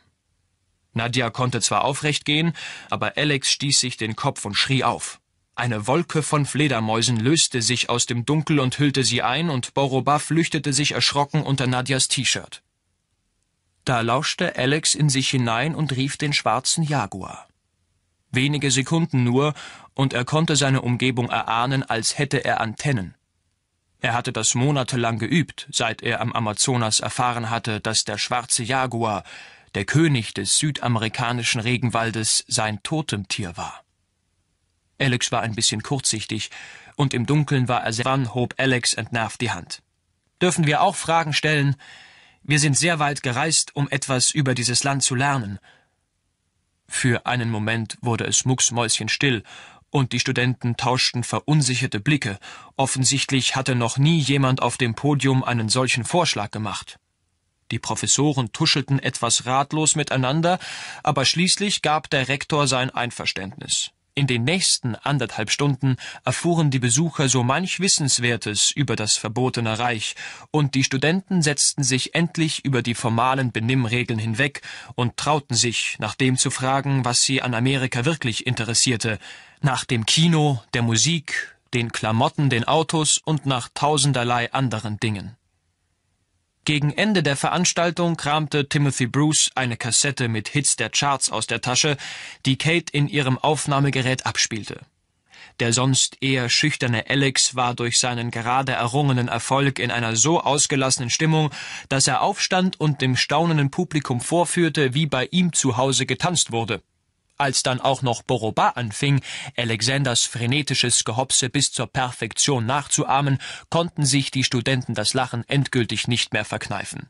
Schließlich war die Konferenz beendet und unter den Blicken ihrer fassungslosen Professoren begleiteten Scharen von Studenten die Besucher bis zum Ausgang des Parks und Tan kennt die Beschreibung. Es handelt sich nämlich um eines der ungewöhnlichsten Objekte der Welt und um eines der kostbarsten noch dazu. Allerdings hat außer den Königen nie irgendwer diesen berühmten Drachen gesehen, und Fotos gibt es auch keine, nur einige Zeichnungen. Er ist ungefähr zwei Fuß lang, und es heißt, er sei aus purem Gold. Aber das ist noch nicht alles.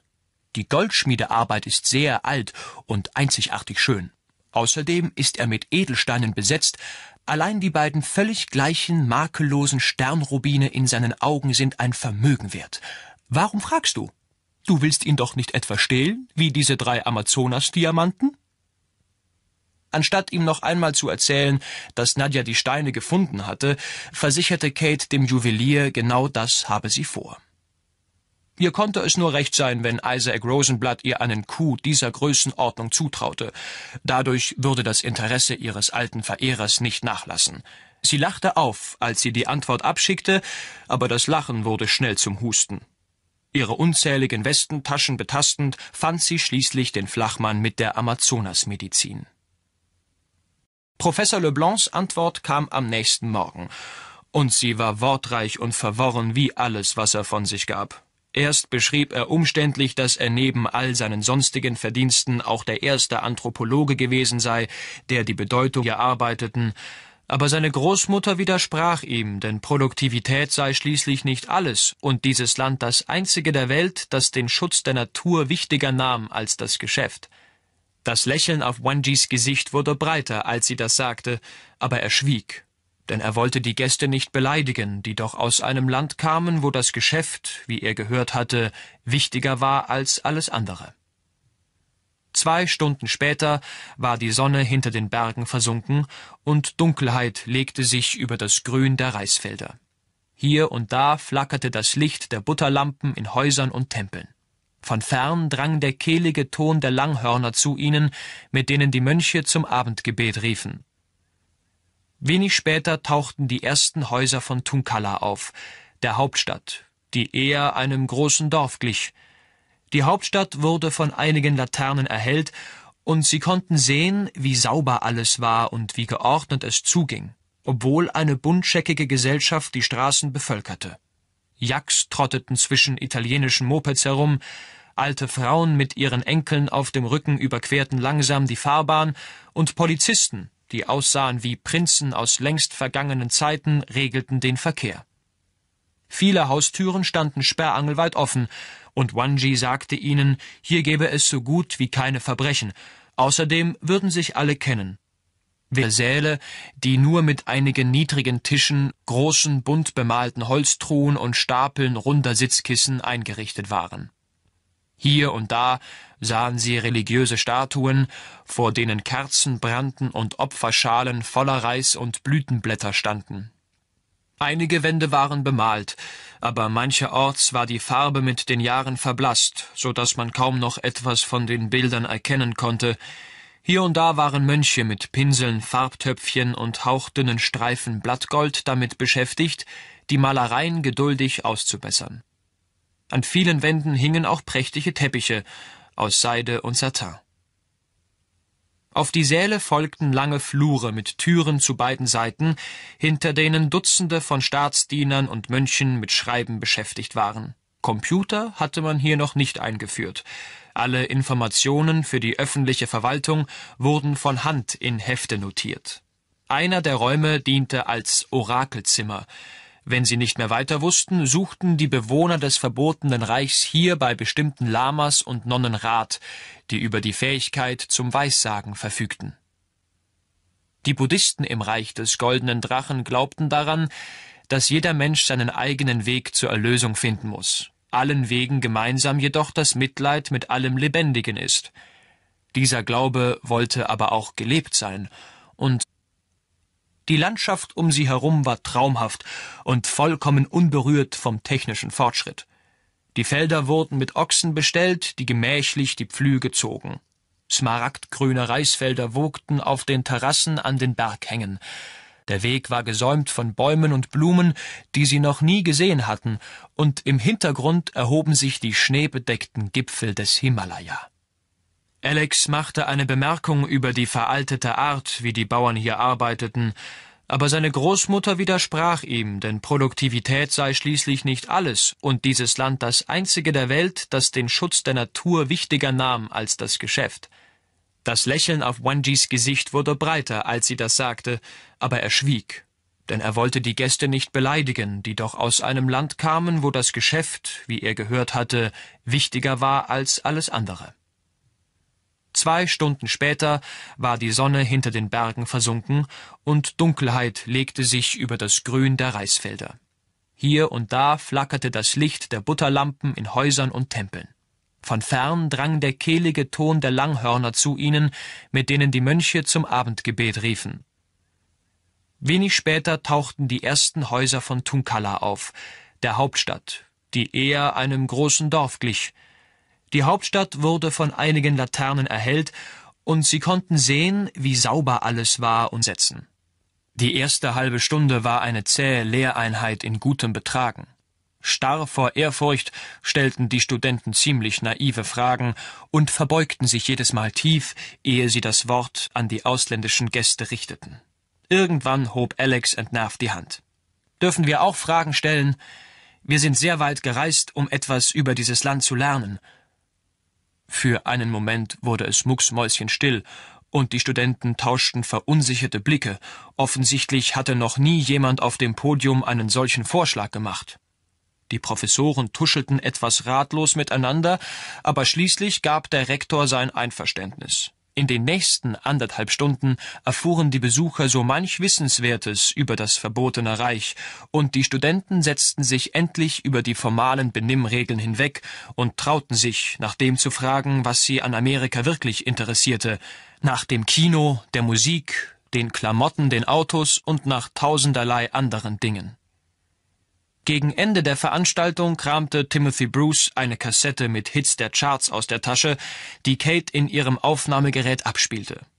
Der sonst eher schüchterne Alex war durch seinen gerade errungenen Erfolg in einer so ausgelassenen Stimmung, dass er aufstand und dem staunenden Publikum vorführte, wie bei ihm zu Hause getanzt wurde.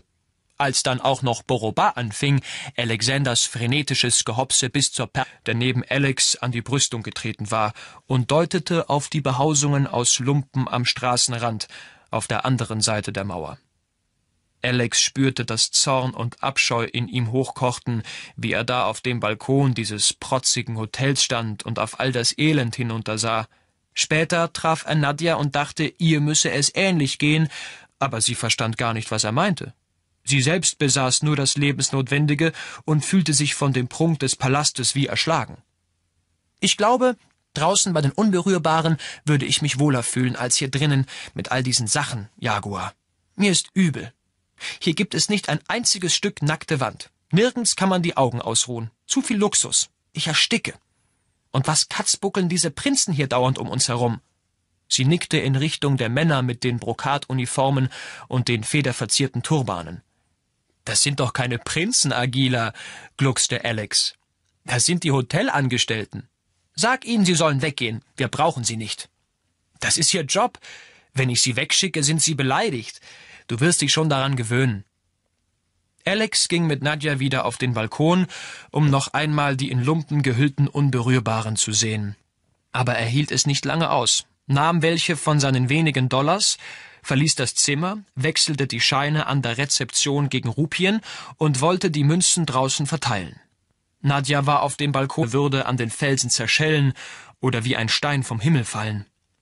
Der Wind kam mal von hier, mal von da, schob sie einmal in einem Höllentempo an, blies dann plötzlich, kaum waren sie an einem Berg vorbei, von vorn, so dass es aussah, als würden sie sich nicht mehr vom Fleck bewegen. Der indische Geschäftsmann und der junge Arzt aus dem verbotenen Reich klammerten sich etwas nervös an die Armstützen ihrer Sitze, versicherten indes, sie würden das schon kennen. Die anderen pressten sich beide Hände auf den Magen, um die Übelkeit und die Angst unter Kontrolle zu halten.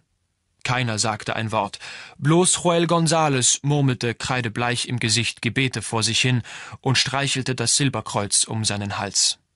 Alle linsten von Zeit zu Zeit zu Judith Kinski hinüber, die es bei dem Geschaukel sogar schaffte, in einem Buch über Tulpen zu blättern.